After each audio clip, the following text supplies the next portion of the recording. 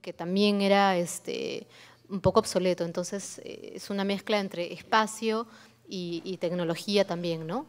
Esta es la Biblioteca de Santa Cruz, que está ubicada en el distrito, eh, perdón, en la zona de Santa Cruz, ¿no? Eh, también tiene los mismos problemas, una estantería ya muy antigua, una falta de, iluminación, que, o sea, si no está bien iluminado el espacio uno no puede leer, y el mobiliario, por ya el uso de varios años, ven ahí los tachones que tienen los, la, mesa, las mesas, entonces varias de estas mesas están ya tachoneadas, rajadas, ¿no? y eso es, da una muy mala presencia y prestancia a la, a la biblioteca. ¿no?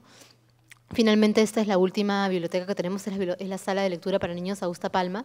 Esta está en mejores condiciones, está, tiene una decoración y una ambientación muy adecuada para los niños, pero también tienen problemas como una estantería antigua, eh, falta de una adecuada iluminación, una mejor iluminación y bueno, algunos problemas de acceso, eh, que se podría mejorar el acceso. No lo he mencionado, pero para también terminar con el tema del diagnóstico de las, eh, bibliotecas, las bibliotecas lo que necesitan ahora es que las hagamos inclusivas, o sea, que les demos una adecuación para, para, personas con discapacidad, ¿no? Para que no solamente eso ya lo, hemos empezado a hacer señora Beatriz, ya tenemos algunos avances en esos términos, pero nuestra implementación, nuestra infraestructura tiene que estar de acuerdo a los avances que hemos estado haciendo en términos de este, inclusión de personas con discapacidad. Entonces, nuestra visión eh, con las bibliotecas es ser el distrito líder en servicios de bibliotecas públicas. Queremos con esto fomentar el hábito de lectura en niños desde los primeros años, ser un centro de recursos interactivos para el aprendizaje y el estudio en todos los niveles, estimular la investigación, la imaginación y la creatividad de niños y jóvenes y adultos y adultos mayores, brindar servicios especializados y diferenciados para cada uno de estos públicos, pensando en cada una de sus necesidades específicas, la inclusión de personas con habilidades especiales, tener la, última tecnología eh, y, estar y tener una interacción continua con el usuario y también ser un centro de sensibilización y protección del patrimonio y la memoria de Miraflores, con el gran acervo que tenemos. ¿no? Eh, con esto ya termino, son, cuatro, son tres filmines más que, que me quedan. Eh, ¿Qué incluye el proyecto entonces? Eh, incluye la implementación de un sistema de estantería abierta para cambiar eso que les mostré en la primera filmina y tener la estantería accesible a la gente. O sea, la gente, los usuarios que entren a la biblioteca puedan de frente ir y coger el libro que ellos quieren tipo Crisola, me dice, me dice acá Jacobo. Es claro, como copiando el, ejemplo de las librerías, ¿no? Entonces, eh, eso estimula, está probado que estimula que la gente se acerque al libro, no vea el libro como algo que está lejano, sino algo que ellos pueden descubrir, pueden tocar, ¿no? Y para esto, eh, esto incluye entonces eh, unos strips de seguridad para que la gente no se los vaya a llevar, o sea, para que la gente no se vaya a a querer, bueno, eh, llevar los libros, ¿no? Eh, entonces, la estantería abierta viene con un sistema de seguridad para, para proteger a nuestro, nuestro patrimonio bibliográfico. Además, queremos implementar un mobiliario confortable, así como lo ven en este, en este render, ¿no? con una iluminación muy apropiada, muebles confortables, zonas modulares, eh, de computación, de ocio, de lectura, de música, con buena iluminación. O sea, queremos que eh, cada, cada grupo de gente se sienta cómoda en la biblioteca. O sea, por ejemplo, que la gente que quiere estar en silencio no se sienta incomodada por la gente que quiere más ir a relajarse, ir a conversar, porque queremos que la biblioteca también es para ir a conversar, pero tampoco queremos que la gente que, quiere estar eh, socializando moleste a la gente que, quiere más bien concentrarse e investigar. ¿no? Entonces, zonas diferenciadas y modulares para eh, adaptarnos a esas necesidades de los públicos diferentes que tenemos. Equipamiento tecnológico, esto ya lo he mencionado bastante, áreas modulares con PCs, impresoras, acceso gratuito a Internet, eh, de, Wi-Fi, eh, catálogos virtuales. esto sentimos que con un catálogo virtual podríamos tener bibliotecarios presenciales, pero también virtuales y que puedan atender 24/7, o sea, las 24 horas del día, acceso a la biblioteca a través de un sistema virtual. Conservación de colecciones, esto significa sistemas de tratamiento ambiental para la protección de libros, fotografías y documentos. Estos son, eh, Beatriz eh, conoce el detalle técnico de, estos sistemas, pero son sistemas de purificación de aire, de conservación del ambiente, para que el, acervo no se deteriore. ¿no? Y eso también es una herramienta de, salud preventiva para los usuarios, pero sobre todo para los colaboradores que están constantemente expuestos al, al, polvillo y a los hongos que, que pueden haber en los libros al, procesarlos. Y finalmente la sala para personas con discapacidad visual. Esto es algo que ya hemos estado avanzando, promoviendo, tenemos varios servicios, pero que queremos adquirir eh, y reforzar este servicio para tener libros en braille, audiolibros, lectura asistida, películas con audiodescripción, discos eh, con música y libros en formatos electrónicos, así como un ambiente especialmente equipado con todo esto para que las personas con discapacidad visual se sientan cómodas y, progresivamente ir también pudiendo atender a personas con discapacidad auditiva o personas con otro tipo de discapacidades. ¿no? Entonces, este, este es el proyecto, creemos que son muchos los beneficios, ya creo que los he mencionado, eh, implican la renovación del 100% de nuestra infraestructura, la mejora, eh, una mejora sustancial y muy importante en la calidad de los servicios, mejor aprovechamiento de recursos existentes, atención 24 horas, un gran aprovechamiento de las tecnologías de información y comunicación y una biblioteca accesible eh, para todos, ¿no? Eh, que puedan usar todos. Y el monto de, este, de la inversión es de 1.172.300 nuevos soles. No sé si Beatriz quiere rápidamente agregar este, algo eh, a, a la presentación. Bueno, quizás en relación a la matriz de priorización de proyectos de presupuesto, Podría decir que esta propuesta tiene consistencia con los objetivos estratégicos del Plan de Desarrollo Concertado, debido a que la educación en el país se encuentra en crisis debido a la, poca capacidad em, comprensora de la lectura. Somos eh, la prueba PISA, el Perú desgraciadamente está en el último lugar en el mundo. Entonces, por eso la educación se considera emergencia. También guarda relación con la función municipal en el artículo de cultura, que es el desarrollar bibliotecas. El porcentaje de población atendida, como dijo Crisia, es más del 40%, ya que hemos atendido a 68.096 usuarios y la población de Miraflores es de 90.000 habitantes, lo cual sobrepasa el 46%. También el proyecto, como se ha leído ahora, es un proyecto de inversión. PIB es un proyecto que está registrado y aprobado por el Ministerio de Economía. También favorece a la, población de extrema pobreza, a cual atendemos en todos los grupos de la Organización Santa Cruz, eh, a los mercados, atendemos iglesias, atendemos enfermos, ancianos, programa de base de leche y también a los colegios nacionales de distrito. Eh, beneficia directamente a poblaciones de mayor riesgo, otra vez mujeres, niños, personas discapacitadas, como dijo Crisia, estamos atendiendo ya a personas con discapacidad visual, con mm, lectura asistida, con películas, audio, libros audio y también libros en braille.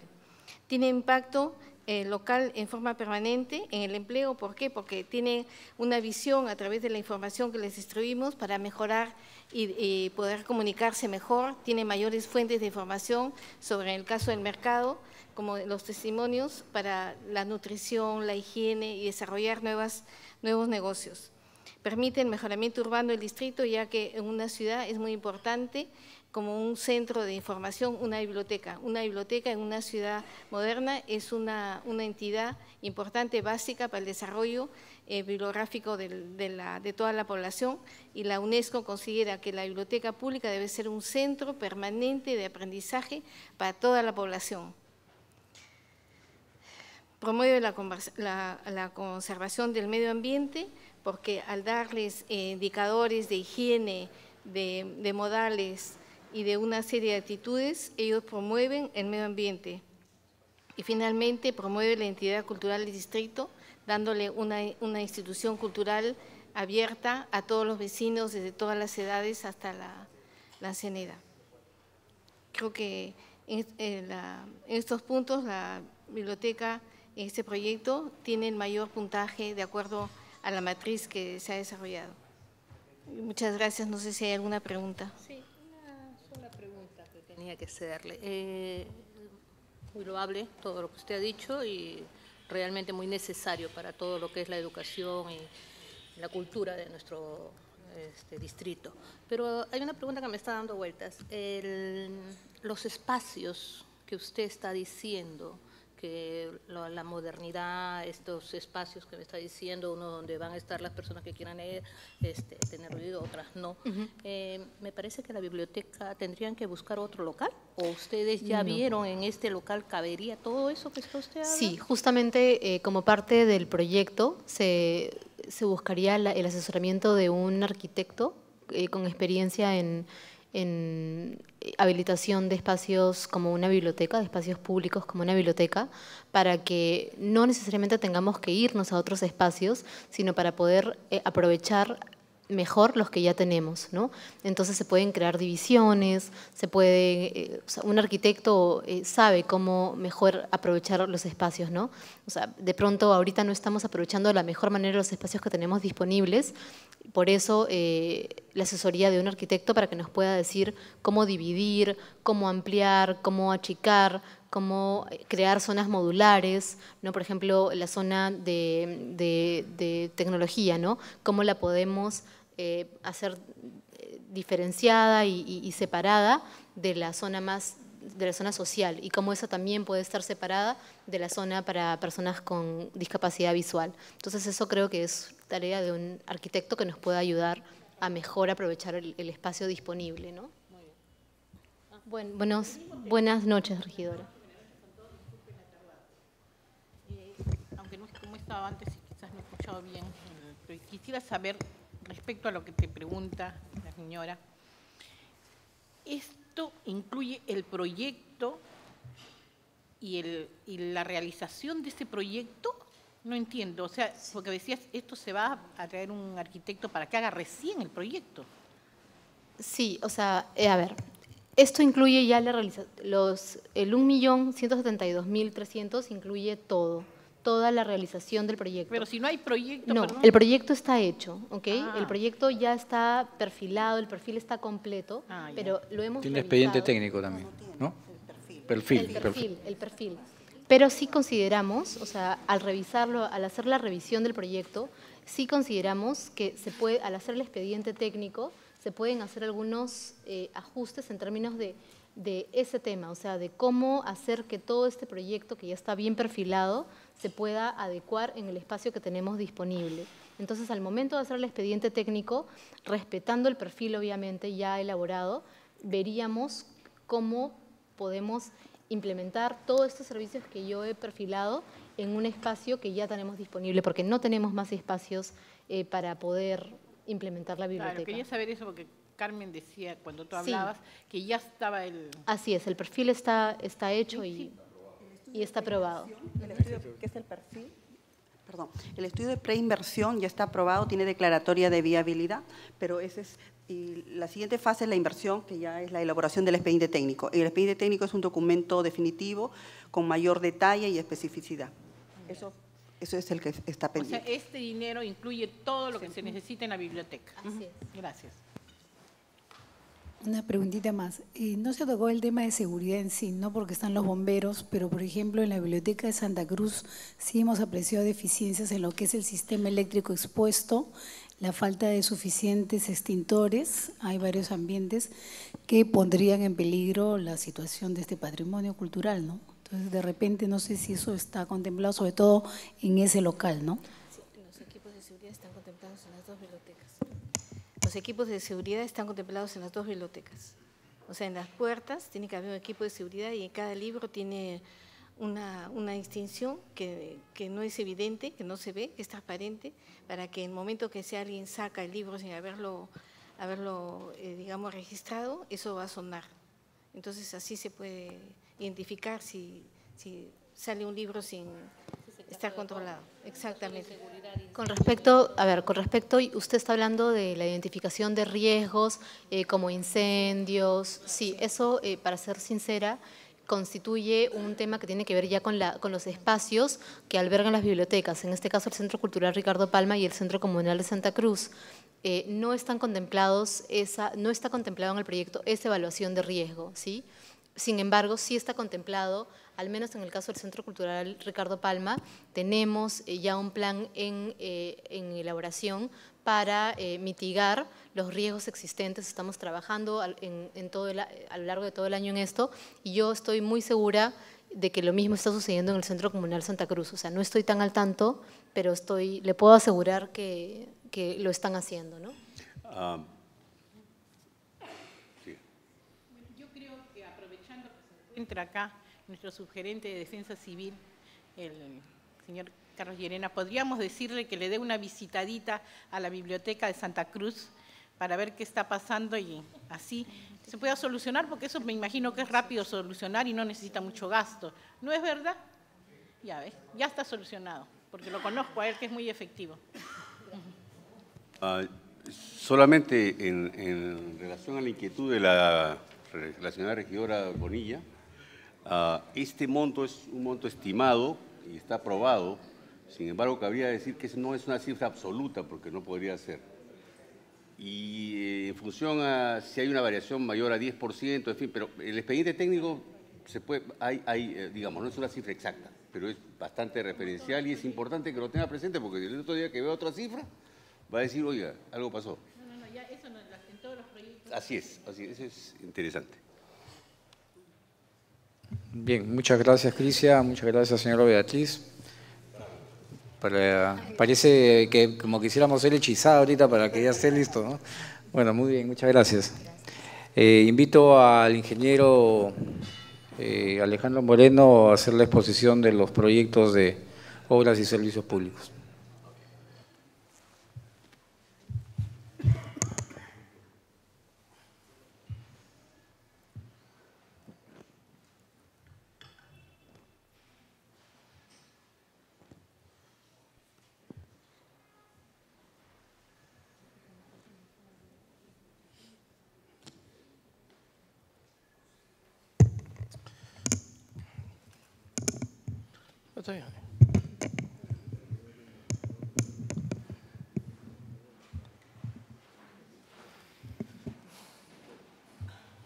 Ok, eh, primeramente muy buenas noches con, todos, señores vecinos, señores regidores, funcionarios presentes. Eh, las propuestas que se plantean de los proyectos son las siguientes, ¿no? por parte de, Obras Públicas y que las tienen en el listado y que lo han podido observar. ¿no? El primer proyecto que corresponde al mejoramiento y rehabilitación de la infraestructura de la vial de la avenida Óscar R. Benavides, conocida normalmente como la avenida Diagonal. ¿no? Este tiene eh, un código ya, tiene un perfil aprobado, ¿no? el 74973, cuenta con un perfil de proyecto. ¿no? La idea es, eh, como lo muestra esta vista, ¿no? en comparación a la, fotografía existente, tener un carril segregado de transporte público, los otros para el transporte privado, y en la parte que corresponde hacia lo que es eh, la parte de la vereda, ampliar las veredas, dar una sensación de amplitud, de digamos mayor eh, cantidad de área verde, y a su vez eh, tener también espacios para poder utilizarlos como este, centro de espera. ¿no? La descripción en sí es la rehabilitación de 4.000 metros cuadrados de pista de pavimento flexible, 3.650 eh, metros cuadrados de veredas y martillos con adoquines de concreto y como lo muestra la foto con bandas podotáctiles, porque estamos en un distrito en el cual estamos aplicando el tema de accesibilidad e inclusión. A su vez, la instalación de 28 luminarias ornamentales tipo poste, que estas serían pues del, tipo que ya eh, estamos colocando y vamos a colocar, por ejemplo, en los nuevos proyectos, que son con luminarias solares, que son totalmente sostenibles a través del tiempo, y también la implementación de ciclovía y mobiliario urbano, como lo ven bancas, y eh, otros elementos como alcorques, que son en la parte de los árboles. El monto aproximado de proyectos son de 3 millones de soles. Sí supera el, monto. Es lo que está en el monto de perfil, ¿no? Es que tiene dos etapas el proyecto. Tiene dos etapas. El mejoramiento y rehabilitación de la infraestructura vial de la avenida José Galvez es otro proyecto que también lo tenemos, tiene también código de SNIP, ¿no? el 152-149. La descripción, si comparamos la foto anterior, Este es el estado en el cual se encuentra y, lógicamente, con el planteamiento de mejorar todo lo que es eh, la infraestructura vial correspondiente a 9.900 metros cuadrados aproximadamente de pavimento flexible, mejoramiento de 1.465 metros cuadrados de veredas con martillos de adoquín, 922 metros cuadrados en vermas con los setones de concreto, señalización e instalación de volardos en las partes que se complementen y aproximadamente el monte de 2.068.000. ¿no? El mejoramiento y rehabilitación de la infraestructura de las zonas 6B y 6C. Tiene también un código SNIP 73985. Nosotros, como le dije en la exposición que tuvimos hace un tiempo con ustedes, lo que hemos nosotros creado como eh, gerencia de obras y servicios públicos es crear un banco de proyectos en lo cual estas son, estas son ideas que incluso ustedes han planteado en anteriores presupuestos participativos y la idea es, con las propuestas que ustedes han, ido y siguen planteando, y creciendo en nuestro banco de proyectos. ¿no? que es la manera más ordenada, y lógicamente nosotros crear un sistema nacional de inversión pública que nos permita y nos facilite a su vez eh, tener, eh, digamos, la siguiente etapa que sería la parte complementar con el expediente técnico definitivo, ¿no?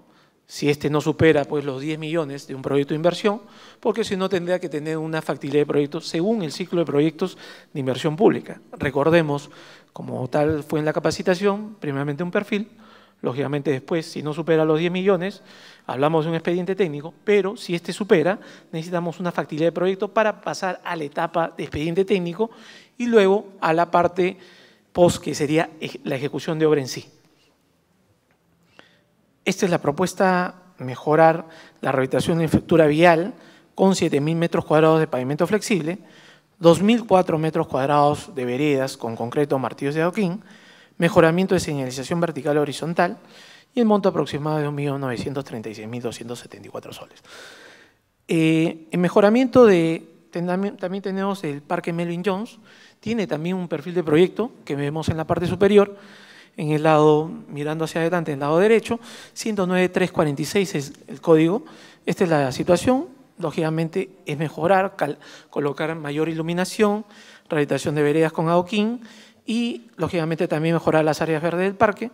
El monto es mucho menos en este caso, estamos hablando de 325.000 soles con 415 aproximadamente. ¿no? Estos montos son referenciales, siempre en acuérdense que esto estamos en etapa de perfil. Estos pueden variar un aprox entre 10-15% más hacia arriba o hacia abajo. Rehabilitación y mejoramiento de la infraestructura vial de calle en las zonas, zonas 9A y 9B, segunda etapa. Eh, tiene también un, un proyecto eh, de perfil SNIP 241575, que este sería, nosotros eh, el año pasado sustentamos el proyecto de la zona 9, de la primera etapa, y lógicamente este sería la continuación. ¿no? Lógicamente contar con la disponibilidad, eh, la idea sería que sea cíclico a través del tiempo, de poder ir tomando etapa por etapa, lógicamente con la venia de ustedes y la aprobación de ustedes, señores vecinos. Este proyecto es rehabilitación de 6.981 metros cuadrados de, pistas de pavimento asfáltico, rehabilitación de 944 metros cuadrados de vereda de carpete de concreto y mejoramiento de 470 metros cuadrados de martillos adoquinados aproximadamente, que dan este detalle en, las esquinas. Rehabilitación de bermas de 1.064 metros cuadrados, monto es aproximadamente 1.926.510 nuevos soles. A su vez, tenemos la rehabilitación y mejoramiento de la infraestructura vial de la avenida Diez Canseco, segunda etapa, distrito de Miraflores, que sería continuar desde la parte del Sanjón hacia lo que es el Parque Kennedy, ¿no? aproximadamente hasta la cuadra 1. Él tiene también un código SNIP 74998 y este es el estado actual en el que se encuentra. ¿no? Tenemos una diversidad de tratamiento en lo que son eh, veredas también, y la idea es uniformizar tal como lo tenemos en otras calles y lógicamente darle esa homogeneidad a lo largo de toda la vía, tal como lo hemos hecho en la primera etapa, y lógicamente le da esa sensación, ese cáliz de amplitud, de sensación y disfrute de vía para los vecinos. Y lógicamente con esto acompaña la rehabilitación urbana del mismo. La rehabilitación en sí es 4.017 metros cuadrados de pavimento asfáltico, 2.835 de vereda de concreto y martillos adoquinados. El monto son de 325.415 aproximadamente.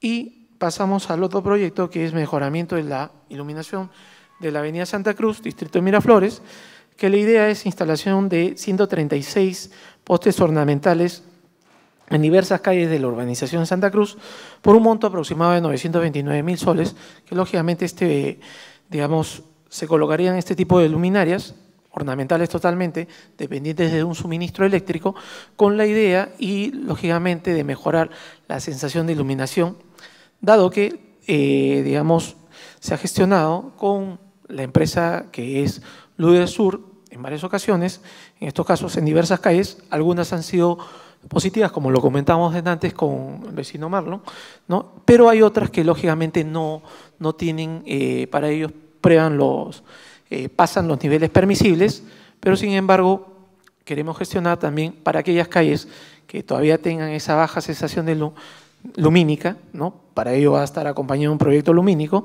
para, eh, digamos, darle esa sensación también que por iluminación, una sensación de seguridad a los vecinos de esta zona. ¿no? Eh, tenemos instalación de riego tecnificado en varios parques del distrito. Estamos hablando de 13 parques.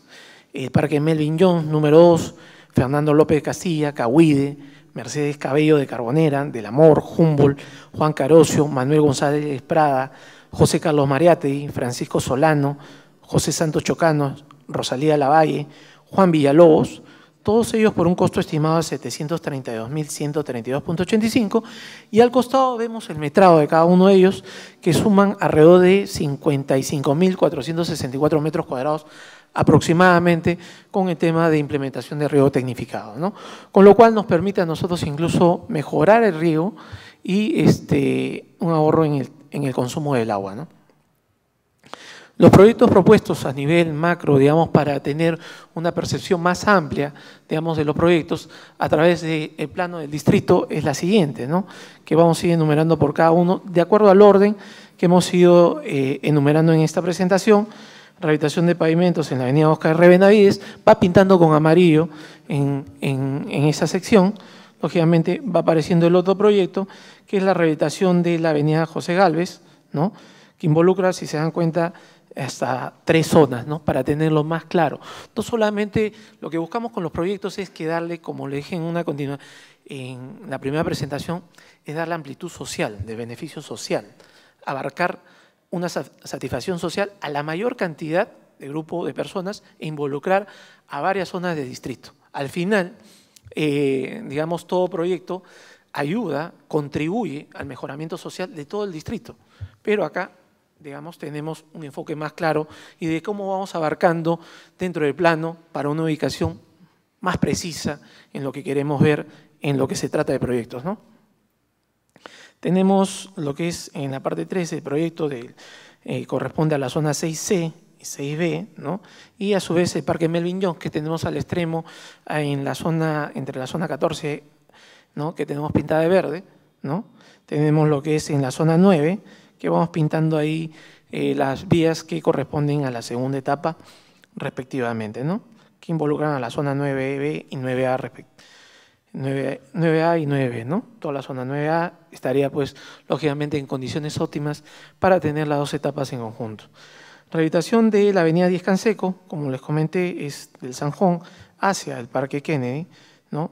Eh, tendríamos pues ya la segunda etapa y lógicamente hay una secuencia a través del tiempo, lo cual contribuye de una forma ordenada de llevar también la parte presupuestal hacia las obras en las cuales tiene rédito social ante los vecinos. Tenemos el mejoramiento e iluminación de la avenida Santa Cruz, que eh, corresponde al, a ese sector 1A, 1B, 2C, y también lo que es río tecnificado, que están con los puntos rojos ahí enunciados. Bueno, ese es, ese es prácticamente en sí lo que tenemos como eh, los propuestos para tener eh, de proyectos que, se, que propone la Gerencia de Obras y Servicios Públicos, lógicamente para la evaluación de ustedes. Eso sería todo. Muchas gracias. Una pregunta, por favor. Sí. Este, en el tema de la iluminación de Santa Cruz, le entendí como que habían unas zonas que contaban con un apoyo de Luz del Sur, pero otras no habían sido contempladas. Sí, mire, hemos gestionado incluso cambios de luminarias a través de Luz del Sur, pero eh, incluso nosotros hemos pedido de otras calles ¿no? que se han hecho la gestión. Lógicamente no he traído acá, podría mostrarles lógicamente las gestiones que se han hecho entre el órgano competente, pero hay algunas que pasan los los niveles permisibles para Luz del Sur en cuanto a los niveles de iluminación, respectivamente. Hay una, categorización. No obstante a ello, lógicamente, previo a, sacar el expediente complementario, porque estamos hablando de un monto aproximado, ¿no? para sacar el expediente definitivo, de todas maneras vamos a hacer un segundo esfuerzo con, esta, con la empresa Luz del Sur y aquellas que no estén en este, en este paquete digamos, de, iluminación, para darle una mayor sensación, se incrementará por parte de la municipalidad con este proyecto. ¿no? Esa es la propuesta. Un comentario. Sí. Eh, creo que es importante... Eh, perdón, quería hacer un agregadito, ¿me, me permites un segundo, por favor? El, ese proyecto de iluminación de Santa Cruz es un proyecto que ha nacido de varias este, eh, encuestas que hemos hecho en toda la, zona 1A, 1B y 2C. Y los resultados que eh, daban o votaban era la sensación de parte de los vecinos de mayor seguridad y se quejaban de esta baja iluminación que había. Entonces tomamos esta propuesta como, como parte de, de este, de este proyecto y lo tomamos como una prioridad también dentro de, dentro de la gestión para poder este, llevar a los vecinos de Santa Cruz esta propuesta. Ahora, obviamente ya va a quedar a la votación de y que ustedes se muevan en la zona. Muy bien, gracias. Sí. Este, y, bueno, yo tengo eh, varios comentarios para este presupuesto participativo. Como saben, eh, he sido integrante del comité técnico y Sí, y no ha terminado la exposición, como bien nos eh, recuerda el amigo Percy, pero yo quería hacer un breve comentario sobre el tema de la iluminación propuesta para Santa Cruz, sobre la mejora de la iluminación propuesta para Santa Cruz. Eh, ante todo, en el comité técnico ese tema fue observado por mi persona, por cuanto solicité un informe técnico correspondiente. Como ustedes saben, Luz del Sur es una empresa privada que trabaja bajo normas establecidas por el Ministerio de Energía y Minas. A su vez hay dependencias como los INERC que también tienen cierta injerencia. Eh, sobre el tema de la iluminación conozco eh, del proceso, cómo trabaja Luz del Sur, porque en una ocasión solicité la mejora de la iluminación para un sector de un distrito que eh, comprendía calles y avenidas y la gestión eh, fue solamente a título personal, con solamente mi recibo de, Luz del Sur y, con eh, y anotando el correspondiente número de suministro. Me demoró más o menos unas dos semanas, no, no llegaron a las tres semanas, y Luz del Sur me dio una evaluación, ¿no? Eh, que me voy a permitir muy rápidamente resumirlo en lo siguiente, que ellos tienen una serie de clasificaciones Primero, por tipo de vía, sea calle o avenida, hay un tipo de alumbrado correspondiente. Por ejemplo, para las avenidas es el tipo de alumbrado 3, para las calles el tipo 4. Y hay un factor que es el tipo de calzada, o sea, el, tipo de la pista, si es oscura o si es clara. De acuerdo con estas este, premisas, ellos tienen un valor que se llama eh, media de iluminancia, que está expresada en unos valores que se conocen como lux estos valores están en un rango, o sea, en una cantidad mínima y una cantidad máxima.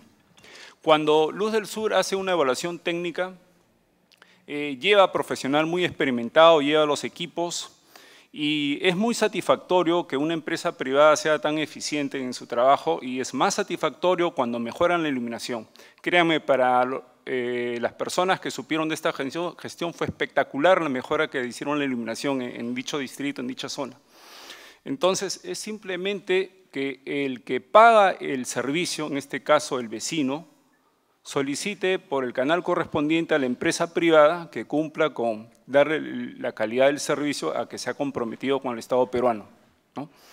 Ahora, este, aún así, en los casos que la iluminación pareciese que no es suficiente, ellos tienen la, eh, la facultad de excederse de los límites máximos y pueden dar una eh, potencia de iluminación adicional.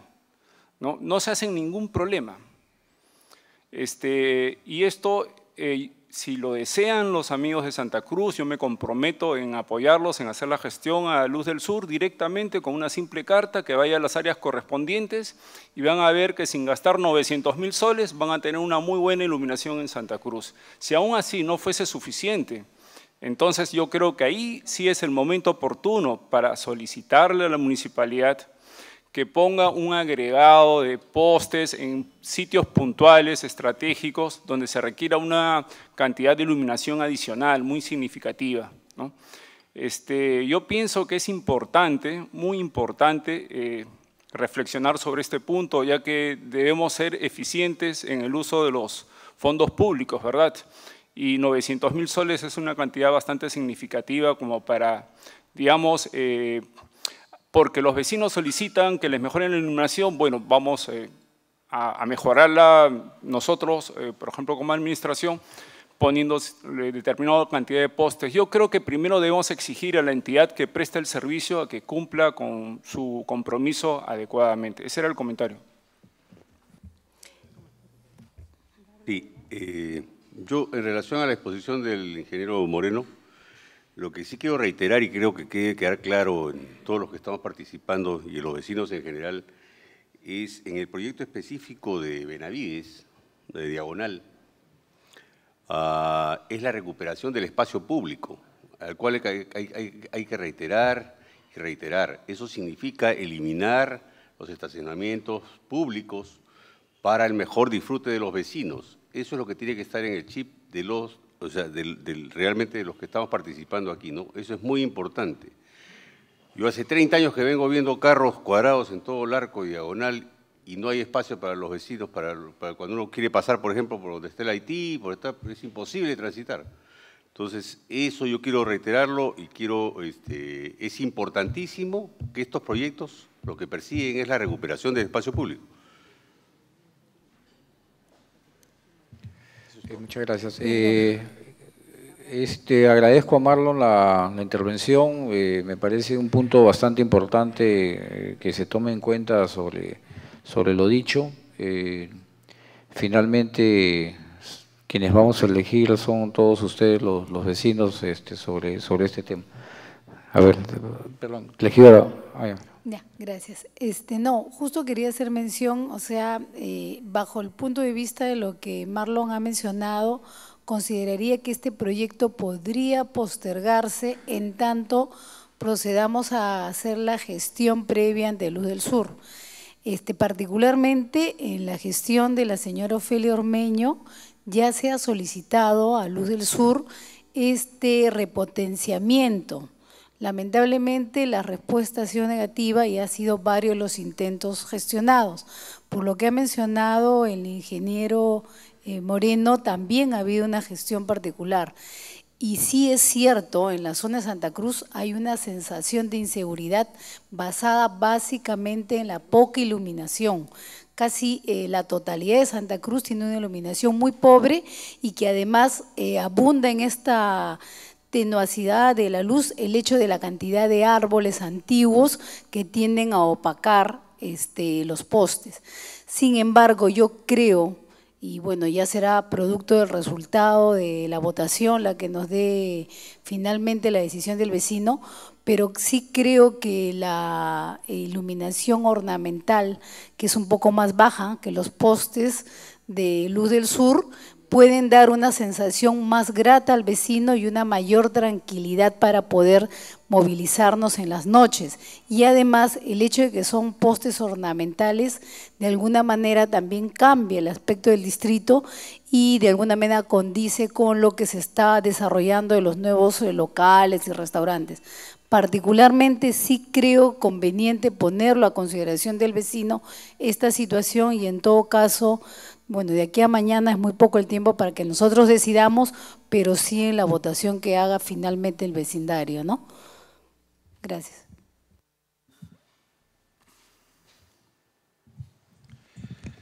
Eh, ingeniero Moreno. A pesar de que tenemos serias discusiones, felicitaciones por la exposición. Dos cositas. La primera, he recibido esta carta, Jacobo, conjuntamente con el folder, y por ejemplo en lo que es el número 15 que ha explicado el, el ingeniero Moreno, habla de un monto y acá dice otro. O sea, hay una diferencial. Entonces no voy a hacer, acá habla de 600, 600 mil y en la lámina figura 732. No voy a hacer que a la hora que pasamos a la, a la no, lo que vale es lo que, lo que les hemos presentado a ustedes. ¿Perdón? Claro. Acá dice un costo. Claro, lo que el costo que está acá eh, es lo que el que el, el, que va a valer para llegar a los 10 millones. Ah, ya, porque ahí decía un poquito más. Sí, sí, ya si hay un costo adicional lo, lo suma la municipalidad. Maneja, ¿no? Y la pregunta que, que, me inquieta es, este, Miraflores es un distrito ecológico. ¿Cómo evaluamos lo del riego, lo del riego en los parques? O sea, porque veo que todo se fue para la zona, hablando de, con el Serenazgo, la, el área 3. No tenemos en el área 2 o en el área 1. Entonces, ¿a qué se debe eh, la evaluación que se tuvo para el riego, el riego este de aspersión? Bueno, tenemos varias zonas en las cuales contamos con riego tecnificado. Incluso tenemos un, una iniciativa privada de una planta de tratamiento en la parte que son malecones, ¿no? la cual dispone hasta, el, a, digamos, abastece a cada parque, en caso de malecones, llega hasta el mismo punto, para ir a empalmar con un tema de riego tecnificado. Lo que se va a hacer con este proyecto, que es una iniciativa privada, y que esa se está trabajando, ¿no? Eh, ya está en etapa, digamos, contractual, eh, la idea es abastecer, ir creciendo en el tema de riego tecnificado, poder tener más, más cobertura y, lógicamente, como eh, ya no usar el tema de, los ríos convencionales con la manguera que producen más desperdicio, que incluso pasan por las calles, empiezan a derramar el agua, eso ya no. Entonces queremos un riego más eficiente. Es por eso que se opta por cubrir y cubriendo el distrito con este sistema de riego tecnificado y en algunos casos en el tipo de laderas y cubriéndolo con un riego por goteo, ¿no? donde se necesita, donde necesita la planta efectivamente. ¿no? Okay. Sí, Marlon. Gracias. Este, yo quería comentar algo este, sobre la propuesta para mejorar la iluminación en Santa Cruz, agregado lo que ha eh, comentado mi colega este, Patricia Esteves de Santa Cruz, ¿no? eh, específicamente sobre que hicieron algunos intentos, algunas gestiones y también acá este, nuestro amigo Alejandro Moreno, eh, al, al, cual le tenemos mucha consideración por su trabajo bastante profesional. Es más, quiero explayarme, veo que en Miraflores están haciendo obras, eh, no sé con qué nivel de eficiencia, obras públicas, pero sí puedo dar fe con un alto nivel de eficacia y yo lo reconozco y lo felicito al ingeniero Moreno. Hay rapidez en la ejecución de las obras, quedan bien, eso es indiscutible, pero yo quiero incidir acá en el tema de la mejora de la iluminación propuesta para Santa Cruz con postes que incluso están especificados como ornamentales. Eh, eh, Luz del Sur es una empresa privada que, como toda empresa privada, pues siempre puede tener ciertas falencias. Eh, yo les voy a contar ahora de otro caso, acá en Miraflores. Hace unos tres, cuatro años atrás había una señora que corría alrededor del parque, que estaba a media cuadra en mi casa, el Parque Solari, que lo conocemos como Parque Borgoño. Y ella me comentaba que una esquina frente a ese parque siempre era oscura, ¿no? Bueno, y el poste central eh, carecía así muy notablemente de un foco, una luminaria. Entonces me dirigí a Luz del Sur, también simplemente con mi recibo, telefónicamente, y le solicité, le solicité los dos arreglos. Pero ahí me enteré de que ahí existía un tratamiento diferenciado. Lo del cambio de la luminaria fue rápido, demoró creo que dos días. Muy bien, se hizo la luz en el parque no hubo que poner un poste nuevo. Y en cuanto a esa esquina oscura, estaba el poste, pero estaba ausente el pastoral, toda la estructura de fierro eh, curva, que es una prolongación del poste, y que simplemente no existía. Y si no existía el pastoral, no había este, la lámpara, y si no estaba la lámpara, no estaba la luminaria. Era otra área que se encargaba de eso. Preparé el nuevo documento, esperé el tiempo, fue mayor, ya no fueron dos días como para cambiar el foco, creo que demoraron algo de unos 10 a 14 días. E instalaron el pastoral, instalaron la lámpara, instalaron la luminaria y se hizo la luz. Entonces, eh, no es solo de un caso, eh, y estoy seguro que si se hace una nueva gestión, Luz del Sur debe cumplir, porque esa área existe, no, no la tienen que inventar. Eh, existen los funcionarios que trabajan y que sobre todo ellos deben cumplir las normas, porque si no son sancionados por el Ministerio de Energía y Minas. Y les reitero mi ofrecimiento para hacer la gestión en Luz del Sur, está muy próximo acá en el distrito, tenemos una oficina este, que tiene mesa de partes, que recibe cartas, y les aseguro que vamos a tener una respuesta de Luz, de luz del Sur. Muchas gracias. Sí, regidora.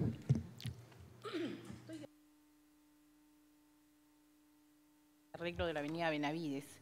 Pero lo que estaba pensando es que así como nos han, hace poquito se ha aprobado en el Consejo de Lima Metropolitana 4 millones para Comandante Espinar, que lo van a arreglar, también esta es una avenida metropolitana.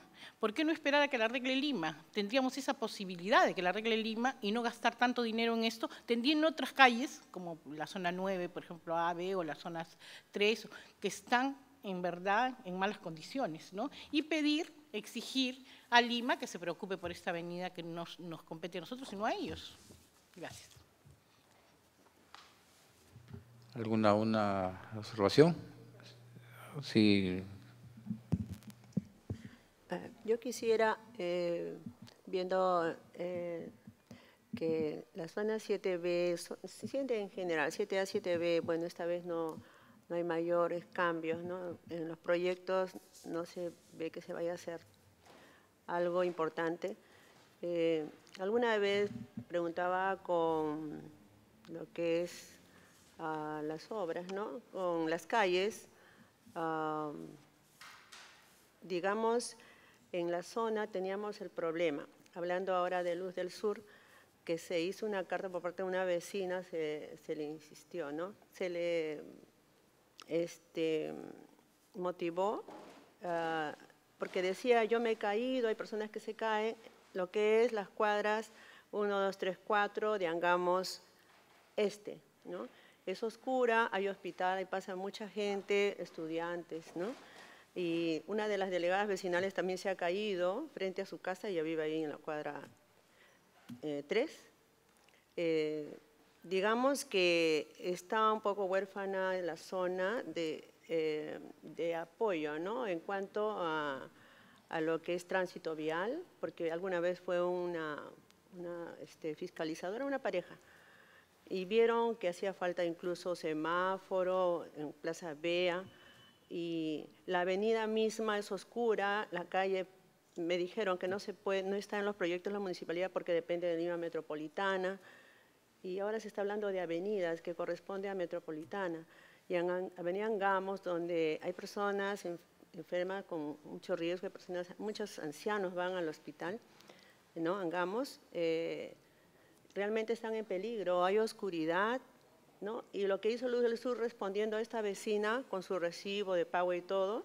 fue que la municipalidad debe podar los árboles, ¿no? Tan altos, antiguos, y siguen los árboles antiguos y altos y sin podar, ¿no? Porque quizás es lo que oscurece o también habrá que pedir repotenciamiento de luz. O sea, nuevamente, porque eso es lo que respondió Luz del Sur, ¿no? Eh, realmente hay problemas así por zonas que, que también se quisiera tener eh, más, que se sienta la seguridad, ¿no?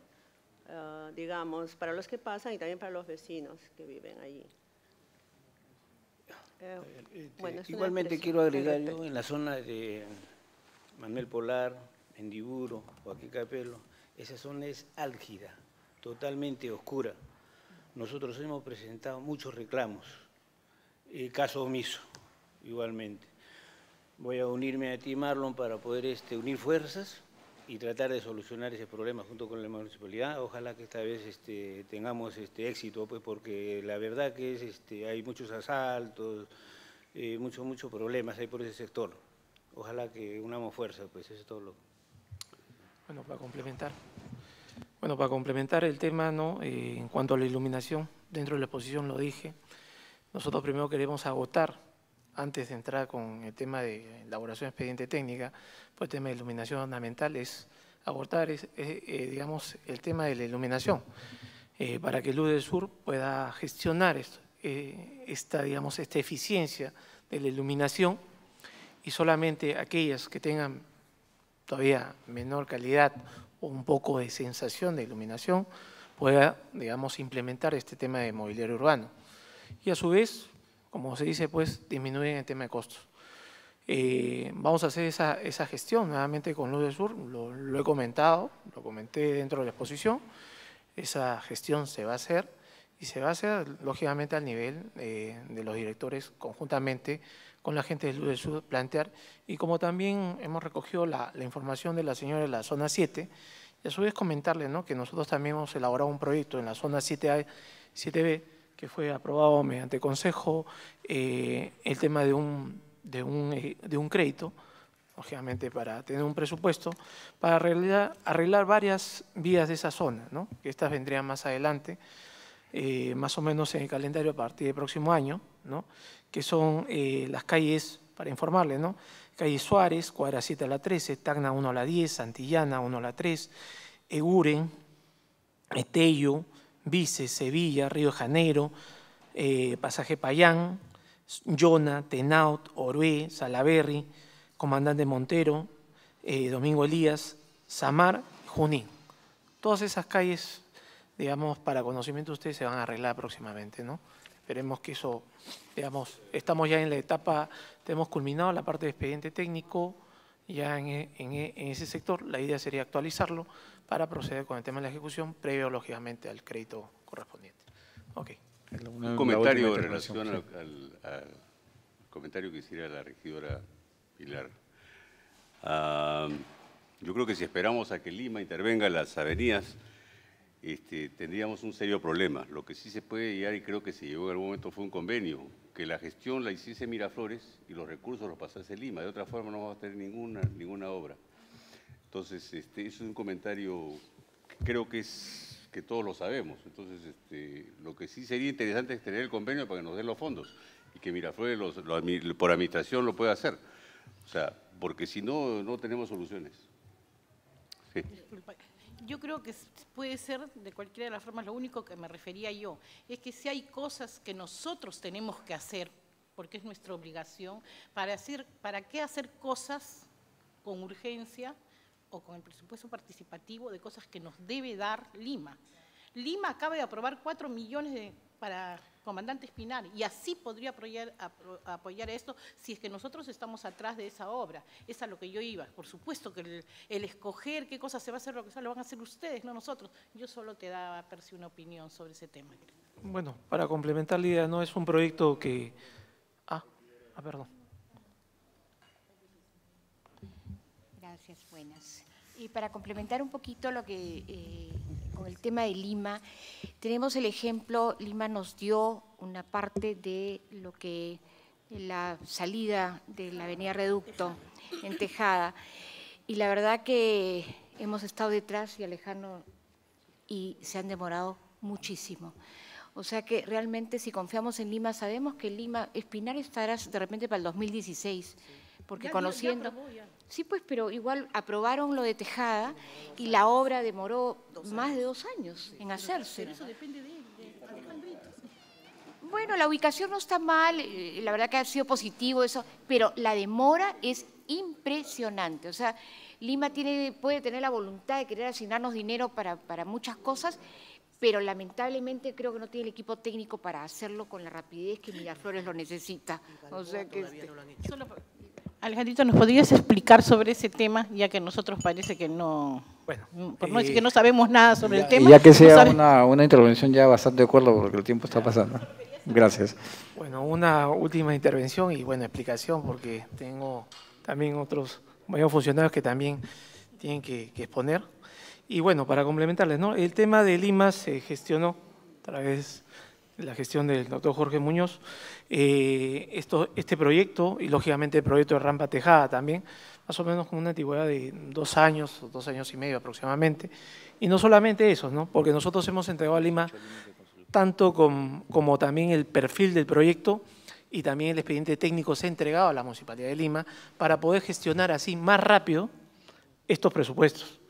Y no solo ello, también tenemos un proyecto en conjunto que son los límites con Surquillo, que el día de hoy ha sido adjudicado, ¿no? que involucra todo lo que son límites hasta Marzano. Entonces, tenemos ese, tenemos otro proyecto y está el de autocarrera también que estamos eh, gestionando, que es el, la avenida 28 de Julio. ¿no? También tenemos otro proyecto que digamos, eh, estamos gestionando, porque son vías metropolitanas, para poder seguir en este tema, no solamente limitarnos en los proyectos que son vías locales por parte de la Municipalidad de Competencia, sino ir abarcando todo y tener vías más transitables, conjuntamente con el proyecto que nosotros tenemos y el plan integral que tenemos de ordenamiento vial que se denomina Calle Sin Estrés. Tener una ciudad más libre para transitar, sin menores huecos, menor congestionamiento, un desplazamiento más eficiente, sin menor contaminación, con mayor áreas verdes y con, también con otros tipos de transportes sostenibles como ciclovías. Eso es lo que queremos de Miraflores y eso apuntamos. Bueno, eso sería todo. Muchas gracias. Invito al gerente de Seguridad Ciudadana, Augusto Vega, para que haga la exposición de los proyectos de seguridad ciudadana. Buenas noches con todos y con todas. Eh, la Gerencia de Seguridad Ciudadana ha presentado un conjunto de proyectos dentro de la modernidad, dentro de la tecnología moderna, en los cuales a este nivel han clasificado cuatro proyectos que voy a pasar a explicarles en su oportunidad. Estoy con el señor Jorge Ramos para poder resolver cualquier pregunta que tengan a bien realizar dentro del aspecto técnico.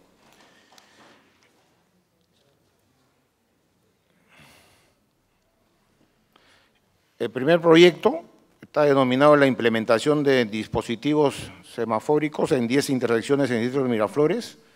El propósito de este proyecto es salvaguardar la integridad de los usuarios en las zonas y en nuestro distrito. Eh, los puntos de riesgo ubicaciones que técnicamente se han establecido son 10 puntos que ustedes pueden apreciar en la lámina. El primero es Jorge Chávez con Berlín, el segundo el séptimo Coronel Inclán con Tarapacá, el octavo Arica con 2 de mayo, el noveno Arica con Enrique Palacios y el décimo Lamar con Federico Villarreal. Estos 10 proyectos ya se ha hecho la documentación correspondiente a Lima, eh, ya está autorizado por Lima para instalarlos en su oportunidad, ya no hay que hacer mayor trámite en su aprobación. Eh, la situación de los puntos de riego, como sabemos y conocemos y apreciamos casi todos los días, es el caos vehicular constante, peligro de choques permanentes, riego también para los peatones al cruzar la vía. Eh, la situación, decía, es una mayor seguridad a los peatones al cruzar, menos probabilidades de choques vehiculares, tránsito ordenado y menos probabilidades de accidentes. El monto de la inversión es de 1.800.000 nuevos soles.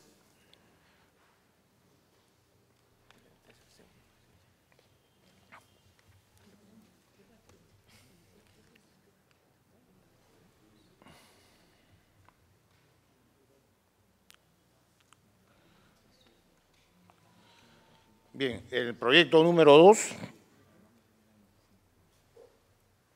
es una solución integral de alerta vecinal y gestión de denuncias móviles en línea para la Municipalidad de Miraflores. Estas denuncias móviles son lo que la policía en estos momentos está eh, propagando por los medios de los patrulleros inteligentes. Entonces, eh, queremos tener nuestros vehículos inteligentes también, más las alertas vecinales.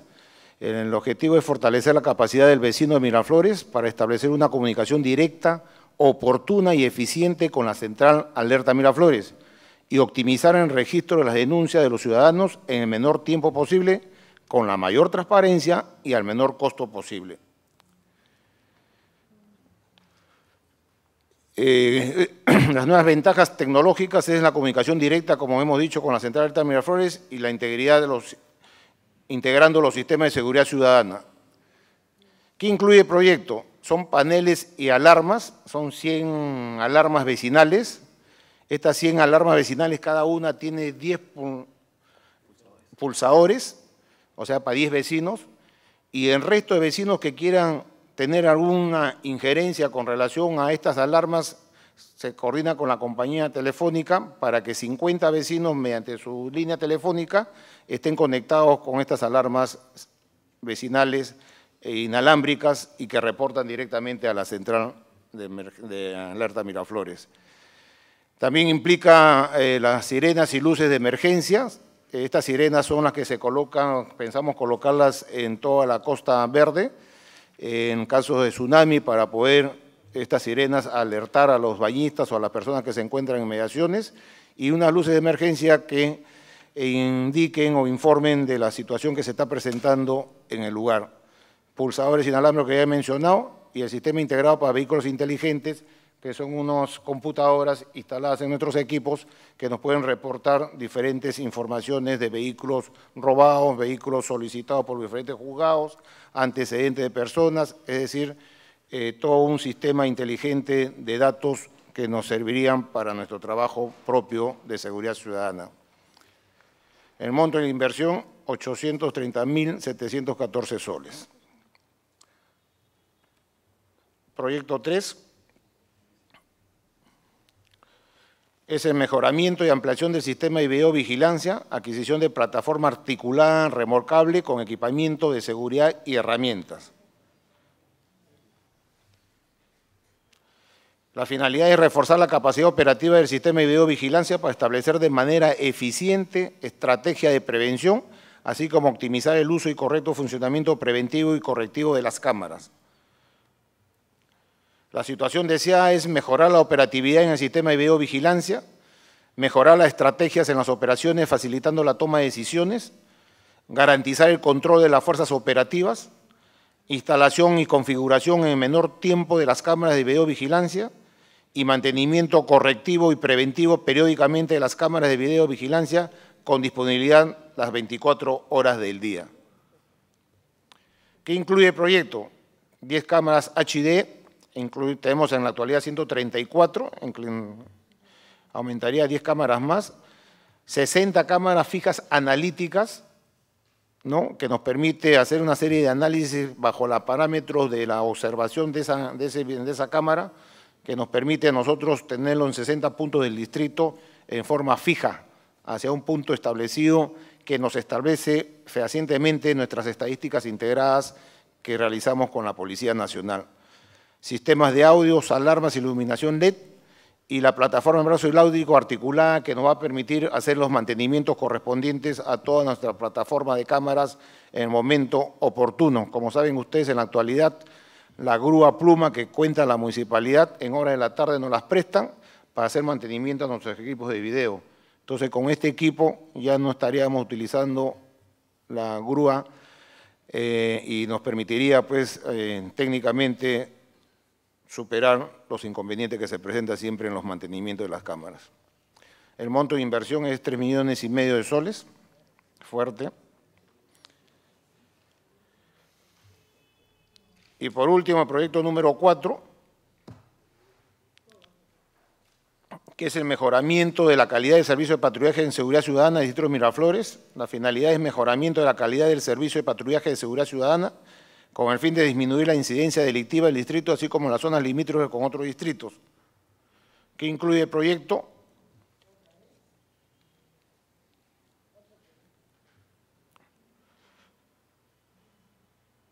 incluye 15 nuevas unidades vehiculares, 20 bicicletas y 3 camiones. En total son 20, 15 vehículos, 15 autos, 12 autos, perdón, y 3 camionetas y 20 bicicletas. El monto de la inversión, un millón de soles. Bien, en forma muy rápida, sucinta, he explicado los proyectos que presenta la Gerencia de Ciudad Ciudadana y estamos llanos a cualquier pregunta. De, sí. ya ves como muy habladora. Este, una de las preocupaciones, tanto con estos sistemas de alerta vecinal como de las cámaras de videovigilancia, no es el problema de la tecnología, que de por sí por el costo nos asusta, pero este, tiene que ir complementado con un tema de recurso humano. Eh, hubo un plan piloto en Santa Cruz para el tema de las alertas y A los vecinos que se les incorporó en ese plan piloto, con franqueza, no se sintieron este, satisfechos del servicio, o sea, finalmente no llegaron a poder apreciar el beneficio que esto iba a significar. Pero adicionalmente el hecho de las cámaras, que de por sí tienen un problema efectivamente, como usted lo menciona, de mantenimiento, eh, no, no reflejan la utilidad real. El día de ayer, en la avenida del Ejército, en la esquina con Mariano Melgar, donde tenemos puntualmente una cámara, nos encontramos justo por acto casual yendo con personal de defensa civil a hacer, preparando el simulacro del día 10. Nos encontramos con que habían tres vehículos, dos mal estacionados en la, en zona derecha, uno era de un político y se dio el lujo de querer estacionar su vehículo hasta que él saliera.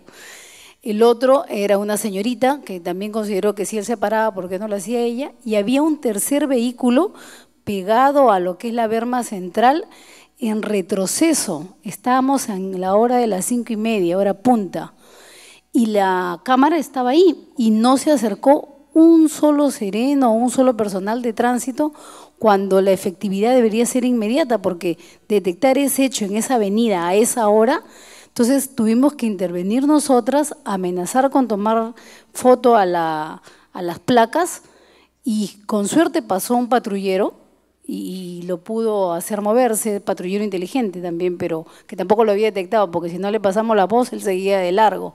Entonces, nos preocupa mucho que el tema de la tecnología, que es vital, que es importante, que la requerimos, pero que es costosa, no vaya este, en forma conjunta con un entrenamiento adecuado y sobre todo una acción inmediata, porque si no la tecnología resulta pues muy infructuosa, ¿no? Gracias.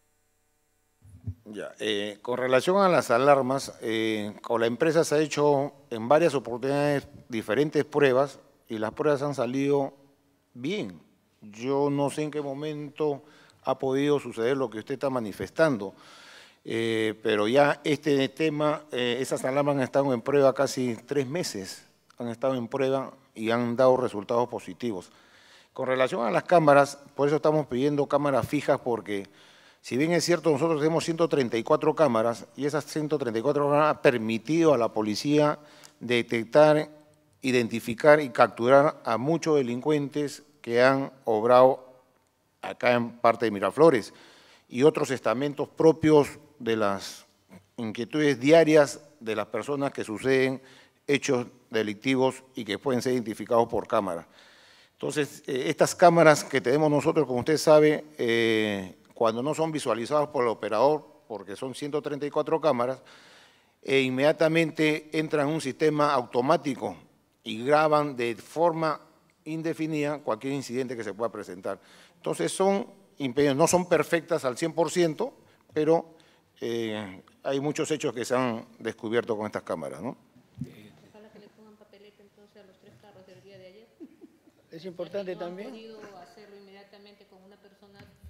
que vaya, si es que ha quedado grabado como usted nos está diciendo, ojalá que nos pasen porque realmente fue un caos tremendo que causaron y prácticamente se rieron de todo, mira, de todas nosotros, ¿no? La cámara, el personal que estaba, las personas que nos identificamos como presidentes vecinales y bueno, fue una burla. Realmente para mí eh, quedamos, quedó muy mal esa, situación. Y otra cosita que quería puntualizar. ¿Ah? Quería puntualizar lo eh, siguiente. Pero tuvimos que hacer toda una serie de cosas que no nos competían. Embarquémonos ya en el, en el tema de, si no, no vamos a bueno, dar muchísimo. lo siguiente, hay sectores donde está la cámara y hay árboles que tapan la visión de las cámaras.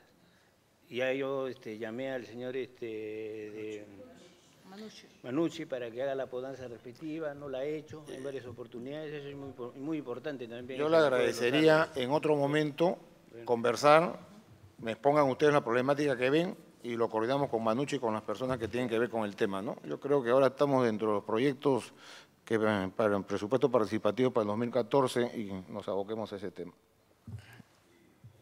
Solamente en relación a los proyectos, de los proyectos que ha presentado eh, y con el objeto de que de los cuatro que ha presentado, ¿no? este, pueda quedar tres mejor para que puedan salir elegidos. Creo que es el, el, comentario que hizo usted en relación a la grúa, que la usan a veces en las tardes, que se las pueden prestar, digamos. Sería importante simplemente en el turno de noche o de amanecida que hagan ese mantenimiento, porque ya está la inversión hecha en el activo fijo que es la grúa, ¿no? Solamente es un tema de programación. Eh, en cuanto la grúa eh, tenga algún requerimiento de algún vecino, dejamos de hacer el mantenimiento y la grúa sale a hacer el apoyo al vecino. Claro. Eh, también lo hacemos en hora de la noche, también el mantenimiento. Sí, sí, sí. Es variable. ¿Querías comentarlo, Nana? Sí, aparte de representar a ASPA, soy vecina de Miraflores y a caminante por las calles. Y eh, estaba con, la esperanza de encontrar en el tema de la semaforización eh, un problema que he reportado durante muchas veces por correo, personalmente, que es el semáforo del cruce de la avenida Angamos con Comandante Espinar. No sé si ustedes han caminado por ahí. Realmente ese semáforo es una trampa, porque para a un solo lado Angamos y no al otro. Y los que van hacia el Óvalo Gutiérrez por el lado del grifo, por favor, si hay una cámara, miren esa cámara, hay mucha gente que está a punto de ser atropellada. Y no está incluido. A veces es preferible que no haya un semáforo para poder cuidarnos eh, por todos los lados. Correcto, señores, tomamos nota y vamos a ver cómo buscamos la solución adecuada. Bien, eh, invitamos a, al, doctor Carlos Solo para, para indicarles acá a nuestras amigas, ustedes pueden hacerle una carta al alcalde con atención de nuestro gerente, que es totalmente eficiente en eso, lo sé, pidiéndole el, el video de, lo, de, las cámaras para poder seguir, para, y él que siga el trámite. Gracias. Gracias, Augusto. Eh, invitamos al señor Juan José Tan para que haga la exposición del proyecto correspondiente a la Gerencia de Desarrollo Humano.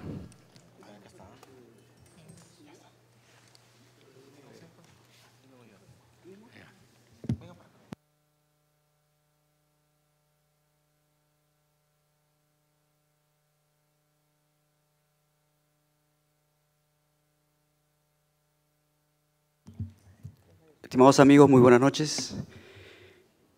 Nosotros, dentro de lo que queremos proyectar, es la propuesta de proyecto de ampliación y mejoramiento del gimnasio Miraflores. La idea principal es que creemos que cada día mucho más personas, tanto de Miraflores como creo que a nivel nacional también, ha mejorado muchísimo esta actitud hacia la actividad física y el deporte.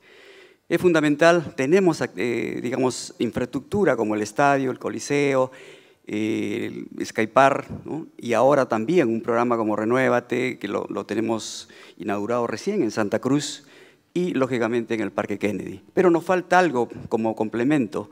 Ahí se corre, se juega, se recrea, pero la parte del gimnasio es primordial porque es un, digamos, una infraestructura que nos eh, complementaría todo el esfuerzo de, de, de, actitud, de flexibilidad, de mejoramiento muscular que necesitamos desde la niñez. Y digo desde la niñez porque el gimnasio viene a hacer eso, el complemento, y no decimos que el niño no pueda hacer gimnasio con máquinas, sí lo puede hacer en la medida que las cargas sean las apropiadas.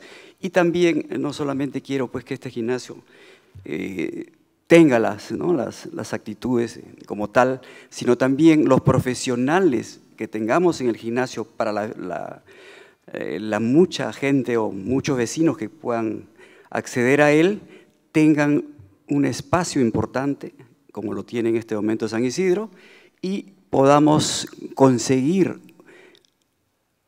digamos, el profesional o los profesionales indicados, idóneos, para que el servicio que se dé sea óptimo, y no cualquiera como se da en muchos gimnasios inclusive.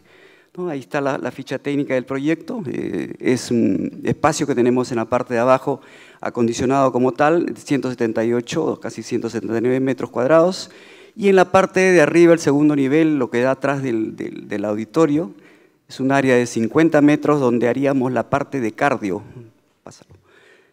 eh, de cardio donde estaría pues todo alrededor de lunas con vista al mar, una vista preciosa para hacer actividad física y en este caso lo que es máquinas de trotadoras, eh, los, eh, trotadoras, máquinas de spinning, máquinas de bicicleta, y la parte de abajo eh, enteramente muscular.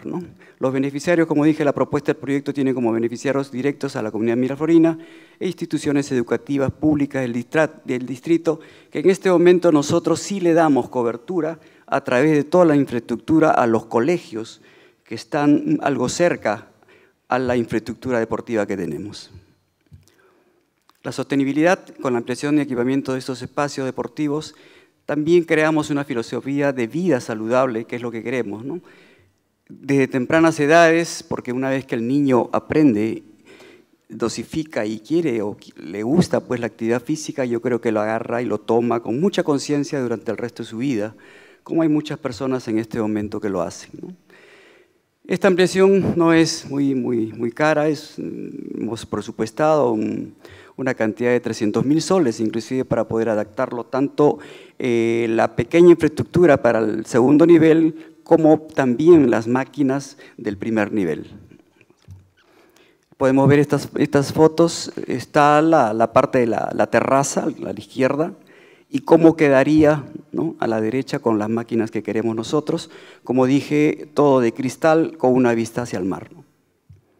Esta es la parte inferior del gimnasio que también quedaría dentro de esas tomas que hemos ofrecido, un gimnasio eh, que le digo más que las máquinas y más que todo el servicio profesional que se daría, tendrían que ser de óptima calidad.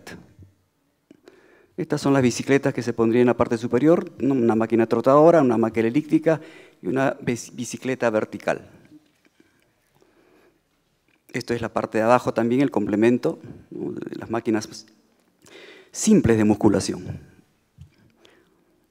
Bueno, eso es en síntesis lo que quería proyectarles con la anuencia de ustedes y con el deseo pues que se cumpla y todos ustedes y los vecinos de Miraflores podamos gozar de un gimnasio de óptima calidad. Gracias. Muchas gracias, Juan José. Ah, no sé si hay algún comentario, pregunta. Solamente felicitarle al señor Tan porque ese es el clamor de todos los vecinos miraflorinos y más que todo el apeto femenino. Muchas gracias, Yo también quiero felicitarlo. Disculpa que te felicitarlo a Juan Tan por esta porque yo creo que además de eso, en Miraflores, en el centro de Miraflores hay gimnasios, hay un montón que son pagantes y hay personas que pueden pagar, pagar esa cantidad que cobran.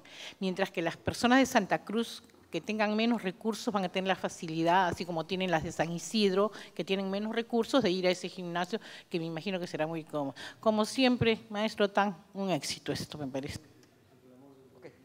Muy amable, gracias. Eh, solamente quería comentar este, dentro de las pocas eh, cosas finales que voy a hablar ahora eh, sobre lo del gimnasio. El año pasado se presentó esta propuesta y nosotros, los agentes representantes, simplemente no le hicimos caso a la propuesta. Entonces es por esa razón que el área 5 eh, eh, tuvimos a bien presentar esto no como una propuesta nueva, sino como una propuesta con nombre específico, porque si ustedes observan y analizan los listados de propuestas, aparece con el nombre de creación de gimnasio municipal, motivo por el cual fue rechazado por el MEF, por el área correspondiente. ¿no? Eh, luego se volvió a presentar, si mal no me equivoco, con el nombre de fortalecimiento del gimnasio. Y tampoco, como ustedes saben, un gimnasio no se puede fortalecer, la infraestructura sí. Entonces, nuestra pequeña contribución ha sido de ese tipo, precisar el nombre adecuado, el nombre específico, y también queremos participar en lo que es la promoción y la difusión, que es muy importante. de lo contrario, pues los vecinos no van a poder ni siquiera este, enterarse que existe esa nueva infraestructura, esa infraestructura ampliada. Actualmente funciona se ha concesionado una empresa privada.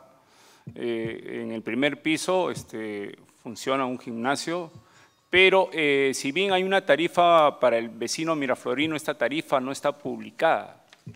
Yo he ido, como un vecino más, simplemente a preguntar cuánto vale y ni les digo el precio porque es, es, excesivo, más que los demás eh, gimnasios de, de, cadena. ¿no?